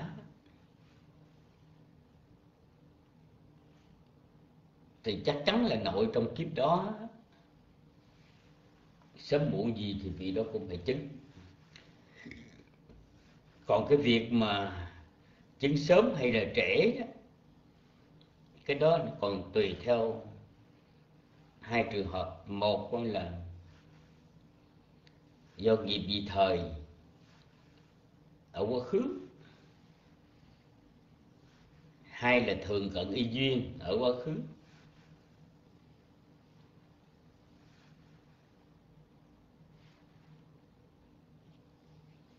Ở đây quý vị có biết rằng là trong giáo pháp này, trong giáo pháp của đức phật, ai là người đệ tử đắc đạo quả đầu tiên không? Chính là tôn giả ai nhát qua đây nhát a nhã kiều trần như. Và cái người đệ tử cuối cùng trong cái thời kỳ giáo pháp của đức phật là du sĩ Supanda khi đức thế tôn sắp viên tịnh đến bàn, thì vị đó có mới đi đến hỏi hỏi đạo đức phật và xuất gia chứng a la hán là đệ tử cuối cùng của đức phật.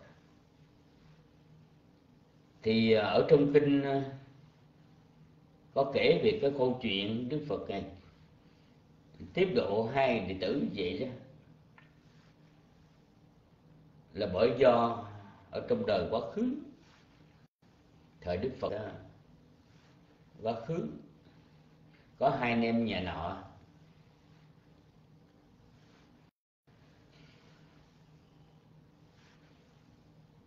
Có một cái miếng thửa ruộng chung nhau.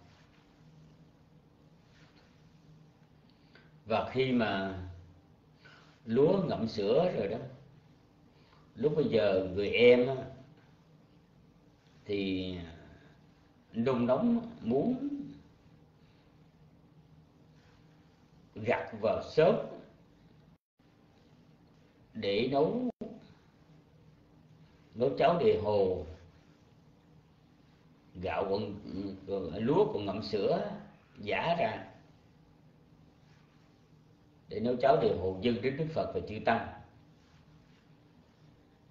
Người anh thì không chịu, người anh nói hãy để đợi cho cái mùa lúa chín gặt vào rồi nấu cơm lên cúng dường cũng được vậy. Hai anh em cứ tranh luận qua lại, cuối cùng thì họ chia đôi cái thửa ruộng đó ra. Và người em nghĩ lại làm, cho nên không đợi cho lúa chín và cho gặt lúa đang ngậm sữa vào để giả ra lấy sữa gạo đó. Nấu cháo đề hồ cúng dường đến đức phật và chư tăng. Rồi mới phát nguyện rằng do cái phước báo mà con cúng dường đến đức phật và chư tăng, với cái mùa lúa sớm nhất, mong cho con trong tương lai sẽ đắc được đạo quả sớm nhất. Thì cái đó thành tựu, thưa quý vị. Sau này à, người em sanh trở lại làm à, tôn giả con đầy nhá kiều trần dư. Cho nên đắc đạo quả sớm nhất trong thời kỳ giáo pháp đức phật. Còn người anh đó thì à, nghe người em phát nguyện như vậy thì người anh sau đó cúng dường điện dầu đắc đạo quả trễ nhất thì như biết sao đắc đạo quả thôi. Thưa quý vị, cái đó nó cũng thành tựu. Cho nên ở đây đó, chúng ta làm bất cứ một việc gì, tạo nghiệp gì hay cái thường cận y duy như thế nào thì nó cũng sẽ ảnh hưởng trong, ảnh hưởng trong ngày vị lai. Ảnh hưởng trong ngày vị lai ghê lắm, thưa quý vị thì trở lại vấn đề đó.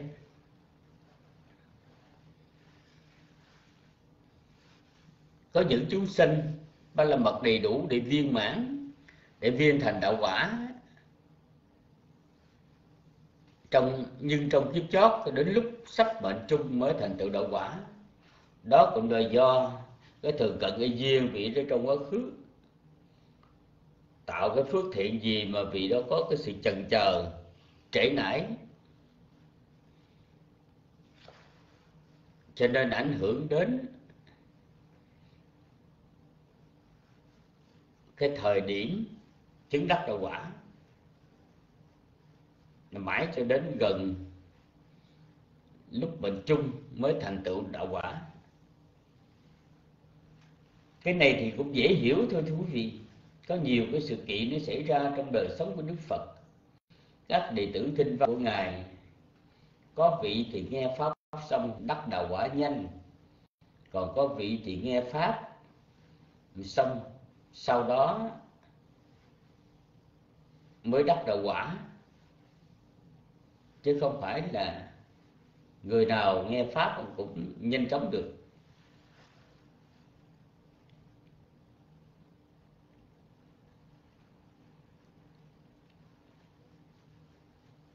Thì ở đây chúng ta cần phải hiểu rằng cái phước ba la mật đã đầy đủ.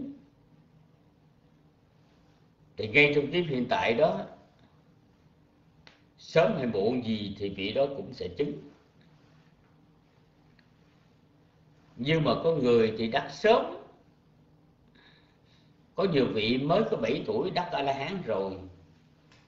Hay là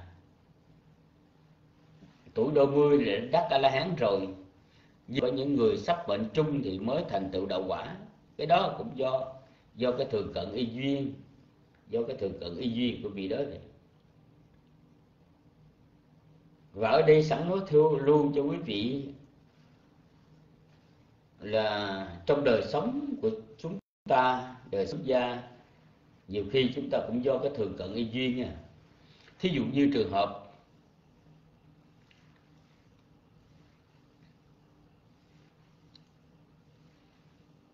một người đến nghe đức phật thuyết pháp.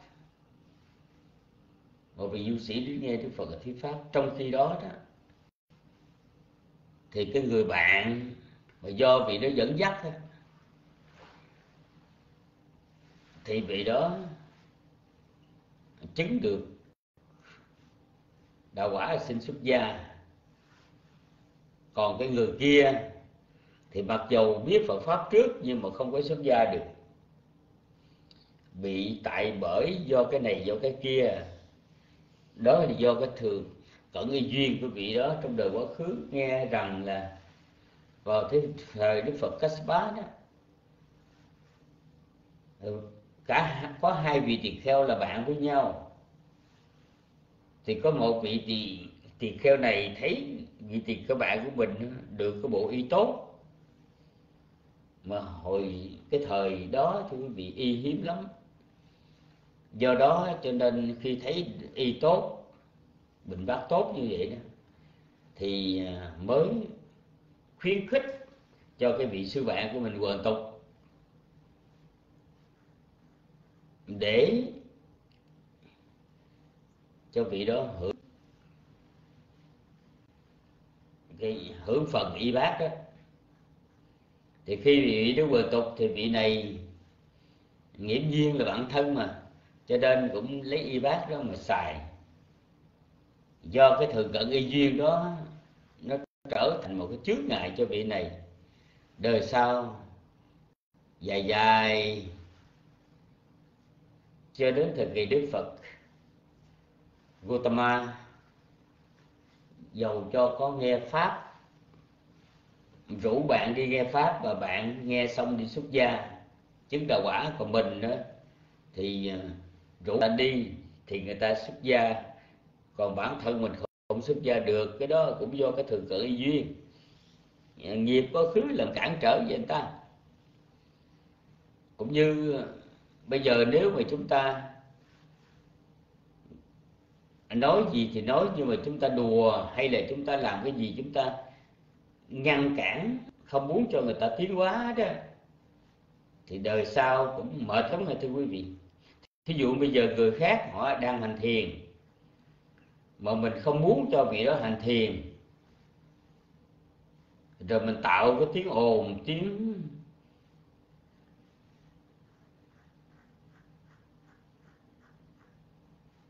làm cho người đó phóng dật người đó không hành thiền được.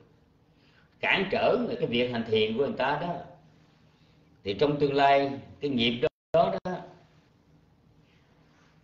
mặc dù có những lúc chúng ta cũng tinh tấn nỗ lực cá nhân của chúng ta vậy, nhưng mà cái sự nỗ lực tinh tấn cá nhân của chúng ta nó nó bị chèo kéo bởi do cái nghiệp mà chúng ta hay gây cái trở ngại cho người khác hành thiền. Ví dụ như chúng ta làm cho tâm người khác bị phóng dật rồi chẳng hạn, thì trong tương lai là chúng ta sẽ đắc trễ, đắc muộn. Cho nên cái này các vị cũng phải chú ý chút xíu mặt khác, ở đây đó, ở trong một bài kinh mà Đức Phật ngài à, giảng giải về à, bốn cái sự hành đạo, hay là bốn đạo hành Patipada thì có cái đạo hành đó là Dukkha Patipada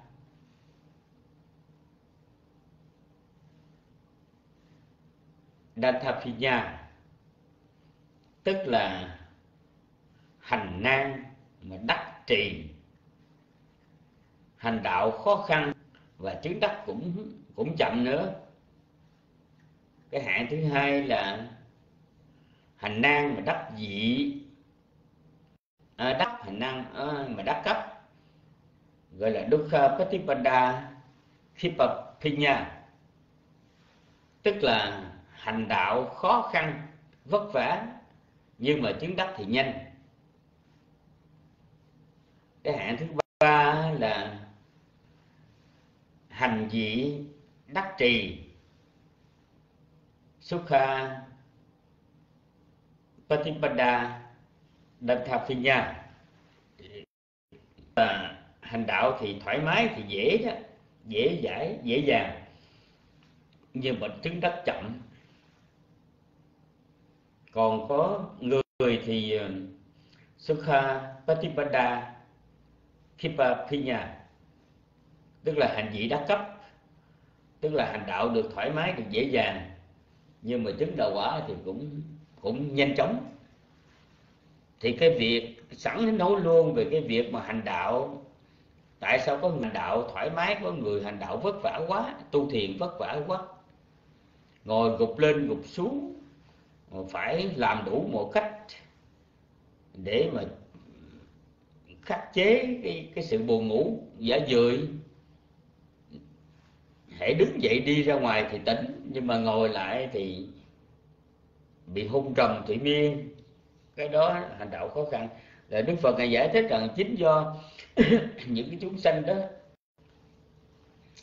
chúng sanh nào mà trong thời quá khứ họ quân tập nặng nhiều về phiền não tham, phiền não sân, phiền não si tức là sống nặng về phiền não thì người đó, cái thường cận cái duyên đó, đời này họ hành đạo khó khăn đó. còn người nào mà trong đời quá khứ xa xưa đó, mà người đó có cái thường cận cái duyên là ít có phiền não do đời trước, họ hành thiền hoặc là tâm tánh của họ thoải mái. Cho nên họ ít tham, ít thân, sân đến si. Cho nên đời này khi mà họ hành đạo thì họ hành thoải mái, dễ dàng. Chứ không có không có bị chật vật, không có vất vả. Một cái trường trường hợp mà đắc chậm, đắc mau á, là đức phật này giải thích rằng là do một người mà tính tấn điểm định tuệ yếu yếu về đức tin yếu về tinh tấn yếu về chánh niệm yếu về chánh định yếu về trí tuệ. Do ngũ quyền yếu cho nên à, chứng đắc chậm còn có những người ngũ quyền lanh lợi tính tấn điểm nên tuệ nhạy bén cho nên vị này chứng đắc nhanh. Thì ở đây này, chúng ta có hai trường hợp. Cái trường hợp một người đắc đạo nhanh hay chậm, nó có hai lý do. Một là do hiện tại vị đó ngũ quyền thích yếu hay là mạnh. Thứ hai nữa là do cái thường cận y duyên của cái nghiệp dị thời trong quá khứ. Mình không, mình khuyến khích, mình khích lệ cho người khác tu tập nhanh chóng, thì mình sẽ được cái quả, tức là đời này mình tu tập chứng đắc nhanh chóng. Còn nếu mình làm cản trở, gây khó khăn cho người khác, không gây khó khăn cho người khác, chậm xuất gia, hay là chậm hành thiền, vân vân, hay là gây cho người khác chậm hiểu, người ta học, mà mình cố mình đi đến mình ờ, chọc phá và mình cản trở không cho người ta học kinh, học kệ, học Phật pháp, làm cho người ta khổ sở về cái việc học Phật pháp, tu tập thì coi chừng đời sau chúng ta sinh ra cái thường cận y duyên đó mà chúng ta phải bị chậm. Giống như tôn giả chu chu la văn cá mặc dù có duyên đắc đạo quả trong kiếp hiện tại đó, nhưng mà vì do cái nghiệp của quá khứ, ấy mình là pháp sư giỏi. Cho nên thấy mấy vị khác mà còn cầm quyển kinh, còn đi tới đi lui để mà để mà đọc tụng cho thuộc lòng. Mà cứ quên trước, quên sau, cái cười chê người ta làm cho người ta mắc cỡ, người ta học không được. Cho nên đời này, vị này bị tối dạ cái nghiệp tối dạ có nghĩa là xuất gia xong rồi, ba tháng mùa mưa rồi mà học một bài kệ, chỉ có bốn câu thôi mà cũng không thuộc nổi nữa cũng may là vị đó duyên lành ba la mật đầy đủ, cho nên khi mà gặp được đức phật vào buổi sáng cái ngày trao cho chiếc khăn chiếc khăn tay bằng thần thông của ngài đó để kêu vị đó là đi khất thực về, cứ lấy chiếc khăn đó mà lau tay lau mặt, rồi nhìn thấy cái gì nó hiển hiện ở trên chiếc khăn đó thì cái coi đó mà quá tưởng suy xét, thì vị này thấy cái căn là sáng tinh sạch. Còn bây giờ thì dơ bẩn mới nghĩ đến bụi. Cái này là do bụi mà dơ bẩn. Thì đức phật ngài dùng thờ thông để xuất hiện. Ngài nói rằng cái bụi đó chỉ bụi bên ngoài. Cái tham là bụi, sân là bụi, si là bụi. Những bụi đó ở bên trong mới là có quế nên vị tỳ kheo cần phải tinh tấn nỗ lực để tẩy sạch những bụi đó. Nghe xong như vậy, tỳ khưu chu lắm tất cá chứng được đạo quả. Với tuệ phân tích, vị nghĩ rằng ngày hôm qua một bài kệ bốn câu không thuộc mà hôm nay đắc được tứ tuệ phân tích thì quý vị biết như thế nào. Cho nên do cái nghiệp ở trong quá khứ mà chúng ta làm không khéo thì coi chừng chúng ta bị ảnh hưởng thường cận gây duyên chúng tôi xin được uh, dứt lời ở đây xin kính thỉnh à, thượng tọa pháp tăng trở lại điều học nam mô bổn thầy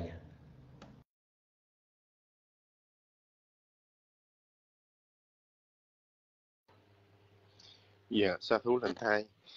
Dạ, bây giờ thì uh, con xin thỉnh uh, ngài thượng tọa tề siêu trả lời một câu nữa rồi thỉnh ngài đi nghỉ. Ở trong cái câu thảo luận uh, số 3 đó thì uh, trong cái tinh thần hoàng pháp độ sanh có nên hay không để tránh những cái đối tượng à, không có thiện cảm à, với Phật pháp?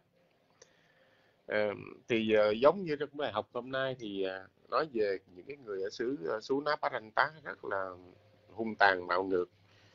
Nhưng ngày Bùn Ná ngày cũng độ được.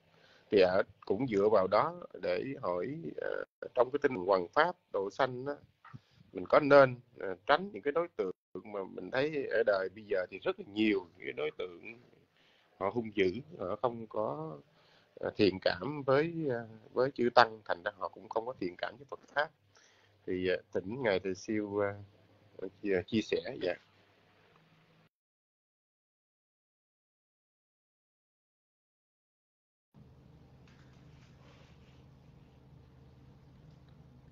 Nam mô Bổn Thầy, dạ, kính bạch chư tăng, kính thưa quý Phật tử.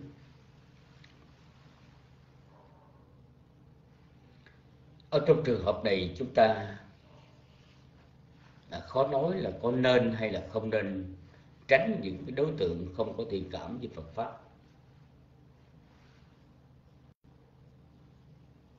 nếu chúng ta nói rằng à, à, trong tinh thần hoàng pháp độ sanh đó, thì nên tránh không nên tránh những cái đối tượng đó mà mình phải lao mình vào trong đó để tiếp độ người ta. Thì chúng ta hãy nhớ cái lời của đức phật dạy trong bài kinh Sapa qua sát tám bài kinh nhất thiết là hoặc đức phật dạy, có những lời hoặc cần phải được đoạn trừ do tránh né. Tránh né loài thú hung dữ, loài người hung dữ. Tránh né những chỗ có thể là bị mang tiếng thị phi vân vân. Cái đó chỉ làm cho phiền não tăng trưởng thôi. Cho nên một vị tỳ kheo mà tu tập đó, thì phải tránh được những chỗ phiền phức đó chỗ nguy hiểm đó để bảo toàn tánh mạng của mình bảo toàn cái sự sự an vui của chính mình. Thì cái đó là chúng ta Ờ, phải nhớ. Còn ở trong, trường hợp nữa là bây giờ nếu mà chúng ta nói là nên tránh nên tránh né nếu nói như vậy thì trong trường hợp này nha thì tôn giả Punna ngài nghe Đức Thế Tôn ngài cho biết rằng cái xứ đó dân chúng rất là hung bạo nếu người đi đến đó thì họ sẽ mắng chửi sẽ đánh đập sẽ giết hại ngươi. Thì lúc bây giờ với cái tinh thần kham nhẫn và nghiêm tịnh Sorachat, tí Sorachat Ngài Buddha Ngài đã mạnh dạn với Đức Phật rằng Trong những trường hợp ấy con lại có cái sự suy nghĩ Hiền thiện thai Là những người dân xứ xứ năm ba tám. Họ chỉ mắng chửi ta chứ không có lấy đất ném chỗ ta. Nếu họ lấy đất ném chỗ thì nói rằng hiền thiện tai. Họ chỉ lấy đất ném chọi chứ họ không dùng gậy gộc để đánh đập. Nếu họ dùng gậy gộc đánh đập thì nghĩ rằng thật là tốt, cũng còn tốt. Vì họ chỉ đánh đập chứ họ chưa có dùng con dao để họ giết. Mà nếu họ dùng dao họ giết thì nghĩ rằng thật tốt lành thay. Trong khi có nhiều người họ nhàm chán thân này, họ chán ghét thân này, họ phải đi tìm con dao để tự sát. Nay ta gọi tìm mà có. Ngài suy nghĩ vậy, ngài mới nói đức phật thì đức phật ngài khen. Ngài nói như vậy thì người mà có đầy đủ cái đức tính khanh tí sô ra chắc tức là khâm dẫn về nghiêm tịnh, thì như ngươi thì có thể sống hành đạo ở xứ đó được. Đức Phật là cho phép đi. Thì quả thật, trong ba tháng ăn cư cái hạ thì ngài đã thu thập được 500 thị nam 500 tín nữ trở về Phật giáo. Thì thưa quý vị, ở trong trường hợp này nó lại là một cách khác nữa bây giờ, chúng ta không thể trả lời dứt khoát là nên hay là không nên tránh. Những người thiếu thiện cảm như thế mà chúng ta phải tự hỏi rằng,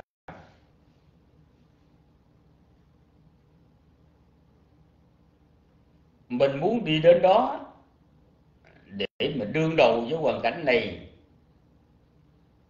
và nhắm cái tài đức của mình có thể tiếp độ những người đó được hay không rồi hãy đi. Nếu mà thấy thấy mình yếu trong người thì đừng ra gió. Thấy mình yếu trong người đừng ra gió. Thứ hai nữa, mình phải tự hỏi rằng là khi đi đến đó, giả dụ họ có những cái thái độ mắng giết, chửi rủa hoặc hành hung. Thì ta có đau đúng không, ta có sợ không, ta có khổ không? Rằng là mình có đủ sức kham nhẫn, chịu đựng. Kéo tác ý như ngài phú lô na, người buôn đá, thì như vậy là chúng ta đi được.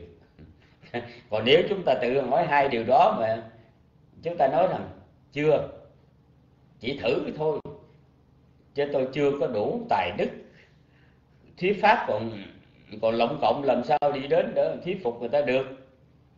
Thế thì mình đừng đi.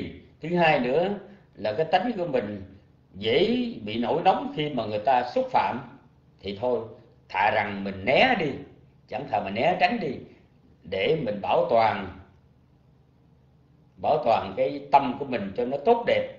Chứ đừng có đừng có ra xương ra gió trong lúc người bị yếu. Cho nên ở đây chúng tôi xin trả lời cho quý vị hai câu hai vấn đề như vậy. Bây giờ thì uh, xin kính thỉnh thượng tổ pháp đăng trở lại. Và còn 15 còn 10 phút nữa xin uh, hai vị uh, quan hỷ giúp cho chúng tôi xin phép nghỉ sớm.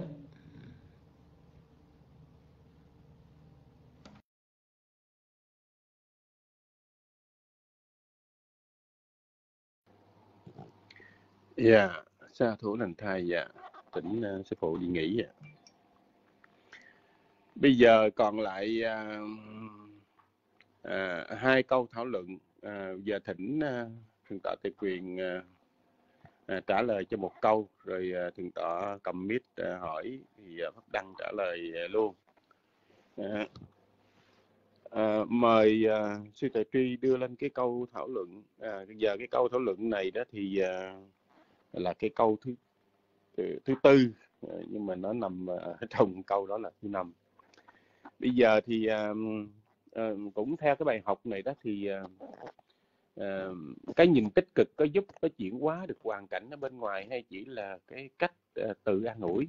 Uh, ví dụ mình uh, mình nghĩ uh, như bà cụ hồi nãy chúng tôi nói đó bà chín mươi mấy tuổi rồi nhưng mà bà mỗi mỗi ngày thì bà cũng uh, đi bán khoai uh, ở ngoài ờ, chợ ở, ở ngoài đường mỗi đêm như vậy.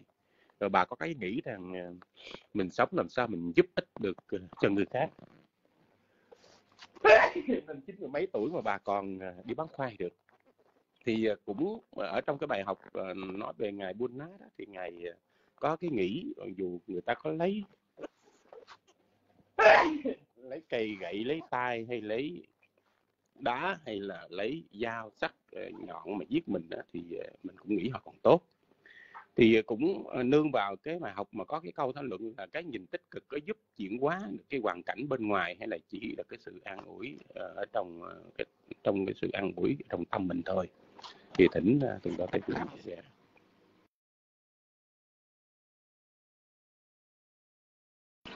Nam mô Bụt Thầy giá Nam mô Tham Ma giá Nam mô Sang Khai giá. Và thưa để chúng được nghe rõ và dạ, cảm ơn quý vị. Một lần nữa kính gửi đến sư tôn đức tăng. Kính chào quý tu nữ cùng chư phật tử. Hỏi rằng cái nhìn tích cực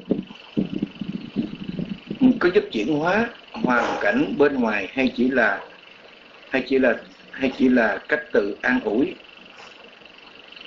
Ở đây nếu như uh, như ngày bốn lá đó ngày Furona bốn lá này thì đó chính là một cái nhìn tích cực để chuyển hóa chứ không phải là một cái cách an ủi có thể nói rằng ở trong cái ở trong cái cái cái cuộc sống này nó có nhiều à, cái chuyện mà nhiều khi đó đối với chúng sinh mà đối với chúng ta mà bị nhiều cái hoàn cảnh nhiều khi chúng à, chúng ta chúng ta khổ.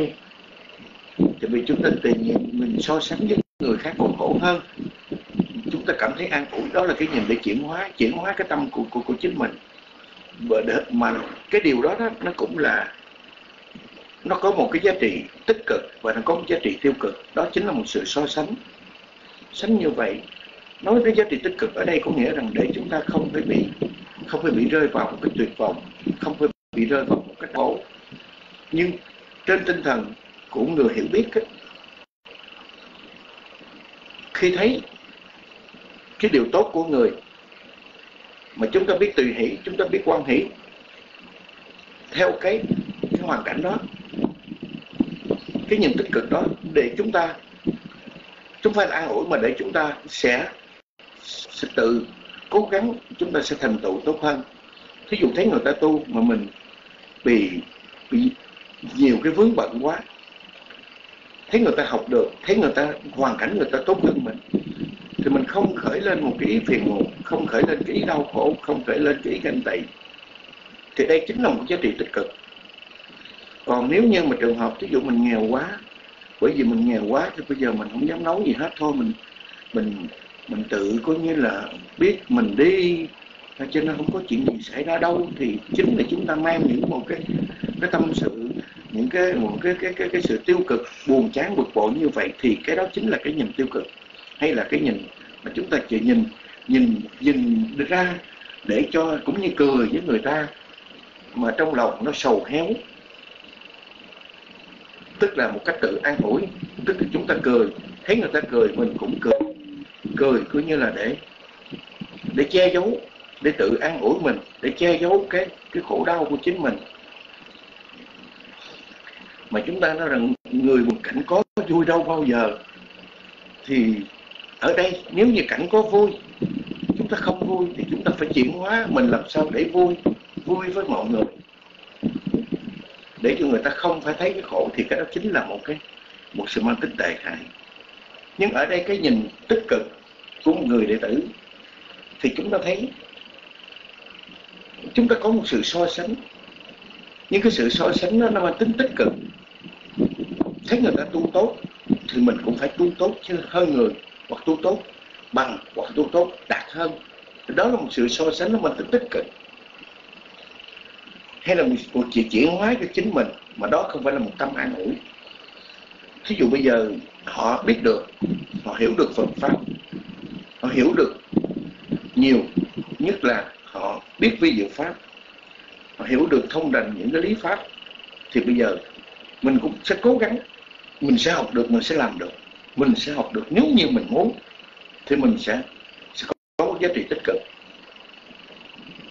thì đó không phải là một sự an ủi mà đó chính là một cái chính là một cái cái, cái một cái cái cái cái cái cái, à, cái sự chuyển hóa chính chính cái tâm của mình để cho mình được yên vui được tốt đẹp. Và cái thứ việc ở trong tinh thần tu tập cái điều này nó quan trọng vô cùng. Sự thật ra đó cái gì người ta làm được mình sẽ làm được. Người ta tu được mình sẽ tu được. Người ta buông bỏ được mình sẽ buông bỏ được. Đấy là một sự chuyển hóa mà chính lời này Đức Phật đã dạy rồi. Chính tất chúng ta có thể thành tựu được. Những gì con đường Phật đạo chúng ta cũng thành tựu được. Nếu chúng ta đi đúng và cũng như thế thì những cái tâm mà có cái nhìn mà chuyển hóa cái hoàn cảnh bên ngoài hay là chính nội tâm mình thì cũng là như thế. Cho nên vì vậy nếu chúng ta có một cái cái cái cái, cái có một sự hiểu biết nó mang tích cực thì mọi việc nó sẽ rất là tốt đẹp. Và mà ngược lại để chúng ta nhìn nhìn, mà cứ như chuyển hóa thôi coi như là đối phó mà tự mình buồn hiu hiu thì cái điều đó không phải là một cái cái điều tốt đẹp giả xin trả lời cái câu thảo luận này là như vậy. À giờ đây thì tiếp theo còn một câu thảo luận nào nữa thì tôi tính cung thỉnh thượng tọa Phật Đăng có lẽ trả lời sau cùng. Và sau đó tính cung thỉnh ngày lúc cái chương trình sinh hoạt của tối hôm nay. Và kính kính cung thỉnh thượng tọa Phật Đăng.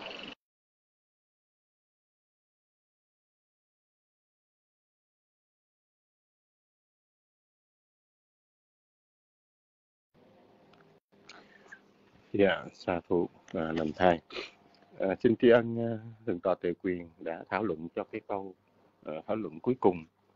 À, kính bạch chư tăng kính thưa quý vị, à, theo cái tinh thần bài học à, về nghệ buôn nát đó, thì cho cho chúng ta thấy rằng à, đối với một cái sự khéo tác ý à, đó là cái cách mà không phải là tự an ủi bản thân của mình mà mình à, suy nghĩ như vậy đó thì à, mình có thiện pháp và cái thiện pháp đó, đó nó có khả năng để thiêu đốt phiền não à, có thể làm cho mình chứng đắc đạo quả. À, bởi vì um, chúng ta biết rằng à, nói đến trí tuệ và cái khéo thắc ý đó là trí tuệ quý vị. Cái khéo thắc ý đó là cái nhân để sanh lên cái trí tuệ tiếp tục à, cái điều kiện để cho trí tuệ à, tăng trưởng. Nên khi mà mình mình gặp những cái nghịch cảnh đó, ví dụ như à, chúng ta gặp những cái nghịch cảnh à, đói khát hay là mưa nắng đó à, mình suy nghĩ. Nên thường thường quý vị thấy à, có những cái chuyện đó ví dụ bây giờ mình đói khát một chút à, có nhiều người coi trong ngã quỷ sự thì à, nghĩ rằng ngã quỷ à, đói khát cả một cái kiếp làm ngã quỷ luôn. Có nghĩa là không có được ăn uống gì hết à, cứ đói khát à, đi hoài như vậy hay là thấy cái sự nóng á, thì có nhiều vị nói rằng cái nóng với địa ngục nó còn kinh khủng hơn. À, nên á, những cái vị đó đó khi mà có cái sự suy như vậy đó thì cái trời nóng á, nó cũng không làm cho vị đó khổ sở. Nhưng mà nếu mình ờ, không có suy nghĩ như vậy đó thì nóng một chút đó, thì mình thấy rất là kinh khủng. Và nếu mình nóng như vậy mà mình đứng mình chờ ai đó mình rất là dễ sân hận. À, nên á, chính vì cái sự suy nghĩ khéo đó nó cũng là những cái kiện à, ờ, ví dụ mình đứng mình chờ ai đó ờ, mà mình thấy họ chậm tới đó nhiều khi mình nghĩ suy nghĩ người này đang kẹt xe hoặc là người bị bệnh hoạn hoặc người này đang gặp tai nạn đó thì tự nhiên cái tâm của mình đó, nó sẽ lắng động xuống. Nhưng mà nếu mình nghĩ người đó bây giờ hẹn với mình mà mình để mình đứng mình chờ mà người đó không tới đó mình rất là dễ phẫn nộ. Ờ, Và cái sự phẫn nộ đó rất là nguy hiểm. Nên Ờ, cái sự ờ, khéo thắt ý đó là cái nhân để ngăn chặn những cái phiền não. Và nó cũng là cái điều kiện để trí tuệ sanh khởi để chọc thủng được cái cái cái tham ái cái vô minh. À, nếu mình không có suy nghĩ thì mình với thân khẩu ý nghiệp của mình nó rất là dễ tạo ác. Chúng ta thấy rằng rất là nhiều những cái câu chuyện ví dụ chúng ta thấy uh, như là ngài à, Seriota đó và bà cô Kalika đó Ờ, chẳng qua đầu tiên đó chỉ là những cái ờ, những cái cái nhỏ nhặt thôi ờ, những cái nhỏ nhặt thôi. Có nghĩa là những cái người Phật tử đó họ đem dân cho ngài à, Sariputta cùng với 500 tỳ kheo tỳ tùng. Dạ, cô ca lý cá nghĩ rằng là ngài Sariputta này sẽ chia cho mình. Nhưng mà cuối cùng thì không có, nên cô ca lý cá mới khởi lên cái sự phẫn nộ. Phẫn nộ và cái sự phẫn nộ đó nó cứ ngấm ngầm hoài cho đến khi gặp Đức Phật Đức Phật có khuyên thì ờ, cô ca lý cá ờ, cũng vẫn nói rằng ờ, của tá mà ác dục có nghĩa là ham muốn nhiều đó quý vị nhưng mà thật sự nó không phải. À, có nghĩa là à, những cái người thiện nam tín nữ cúng dường à, cho ngài và 500 vị tỳ khu đó à, nhưng mà lại không có chia cho cô ca lý cá thôi thì cô ca lý cá lại phẫn nộ như vậy. Nhưng mà nếu mà mình có cái sự suy nghĩ đó à, ví dụ như một vị tỳ khu mà người ta có cúng mà mình không có đó thì mình nghĩ à, như, giống như cô ca giống như lô sát cá đó cái nghiệp của mình bị đói khát đó giờ người ta có cúng dường qua rồi nhưng mà lại quên mình. À, thì tự nhiên mình nghĩ cái nghiệp mình lúc trước mình làm ác nghiệp mình bỏ uh, vật thực vào lửa mình đốt không cho người ta ăn bây giờ nhiều khi người ta cúng người ta lại quên mình. Thì tự nhiên cái tâm của mình á, dưới cái sự suy nghĩ khéo léo đó thì tự nhiên mình thấy rằng uh, Ờ, cái nghiệp của mình á, thì mình chịu thôi thì cái sự nhẫn nại của mình có. Và mình suy xét rằng những cái việc mà như Đức Phật ngài nói đó có nhiều khi mình học nhưng mà mình không hiểu. À, hoặc mình học mà mình không có suy xét. Ví dụ như nhãn thức thọ xã quả thiện nhĩ thức thọ xã quả thiện ờ, tỷ thức thọ xã quả thiện thiệt thức thọ xã quả thiện thân thức thọ lạc quả thiện. Thì Đức Phật ngài muốn nói rằng cái miệng của mình được ăn ngon đó nó cũng là cái quả thiện à, còn cái miệng của mình mà không được ăn đồ ngon đó cũng là cái quả bất thiện bởi vì nhãn thức thọ xã quả bất thiện nhĩ thức tỷ thức thiệt thức À, thân thức thọ khổ bất thiện. Cái sự đói khát đó, bệnh hoạn đó là cái quả bất thiện. Nếu mình suy nghĩ à, theo học vi diệu pháp đó thì mình thấy cũng ổn. À, có nghĩa là mình khéo suy nghĩ vậy đó thì cái việc mà có ăn hay là có được người ta cúng dường đó cũng là cái quả thiện của mình. Ờ, nếu là quả thiện mình tin nhân quả thì có nhân thì có quả không có nhân thì không có quả thì tự nhiên cái tâm của mình nó cũng bình an hơn. Thì ở trong cái bài học uh, giáo giới Vinh Ná uh, ờ, bài kinh Phú Lô Na này đó nói đến cái cái đặc biệt của ngài Phú Lô Na là ngài uh, khéo tác ý. Uh, dù ở xứ Bá Thanh Tá là những người hung dữ nhưng mà ngài vì khéo hành trì là dạy Đức Phật. Và chúng ta cũng biết rằng cái sự khéo suy nghĩ đó là cái cốt lõi của bài học này à, thì ờ, đến đây cũng vừa với thời gian và kính tri ân chư tôn đức tăng đã vào ờ, tham gia thuyết giảng và thảo luận. À, và ừ, tri ân các vị tri chúng đã phục vụ cho buổi học hôm nay hoàn tất mỹ mãn. Giờ này thì mời các vị mc lên làm việc của mình. Kính đảnh lễ quý ngài và kính chào quý vị.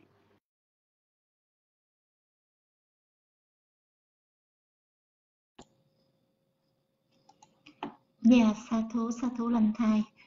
Và chúng con thành kính tri ân chư tôn đức tăng và con xin thay mặt đại chúng trong rung chúng con kính tri ân chư tôn đức đã mở lòng bi mẫn giảng dạy những giáo nghĩa vi diệu của Đức Phật để toàn thể chúng con được lắng nghe, ghi nhớ và hành trì trong tôn chỉ, không làm các ác nghiệp, huân tu các hạnh lành, thanh tịnh hóa tâm ý như lời chư Phật dạy. Kính cảm ơn quý ớt đã yểm trợ cho các phần hành trong lớp học được hoàn tất mỹ mãn. Chúng con kính chúc chư Tôn Đức và quý đồ hữu luôn an lạc các tường trong chánh pháp nhiễm màu của Đức Từ Phụ Thế Tôn. nguyện công đức đã làm, kết duyên lành giải thoát. Nguyện hồi hướng chư thiên, hàng thiện thần hộ pháp. Nguyện các bậc hữu ân đồng thừa tư công đức. Nguyện chánh pháp trường tồn, chúng sanh cầu giải thoát. Nam mô bổn thaya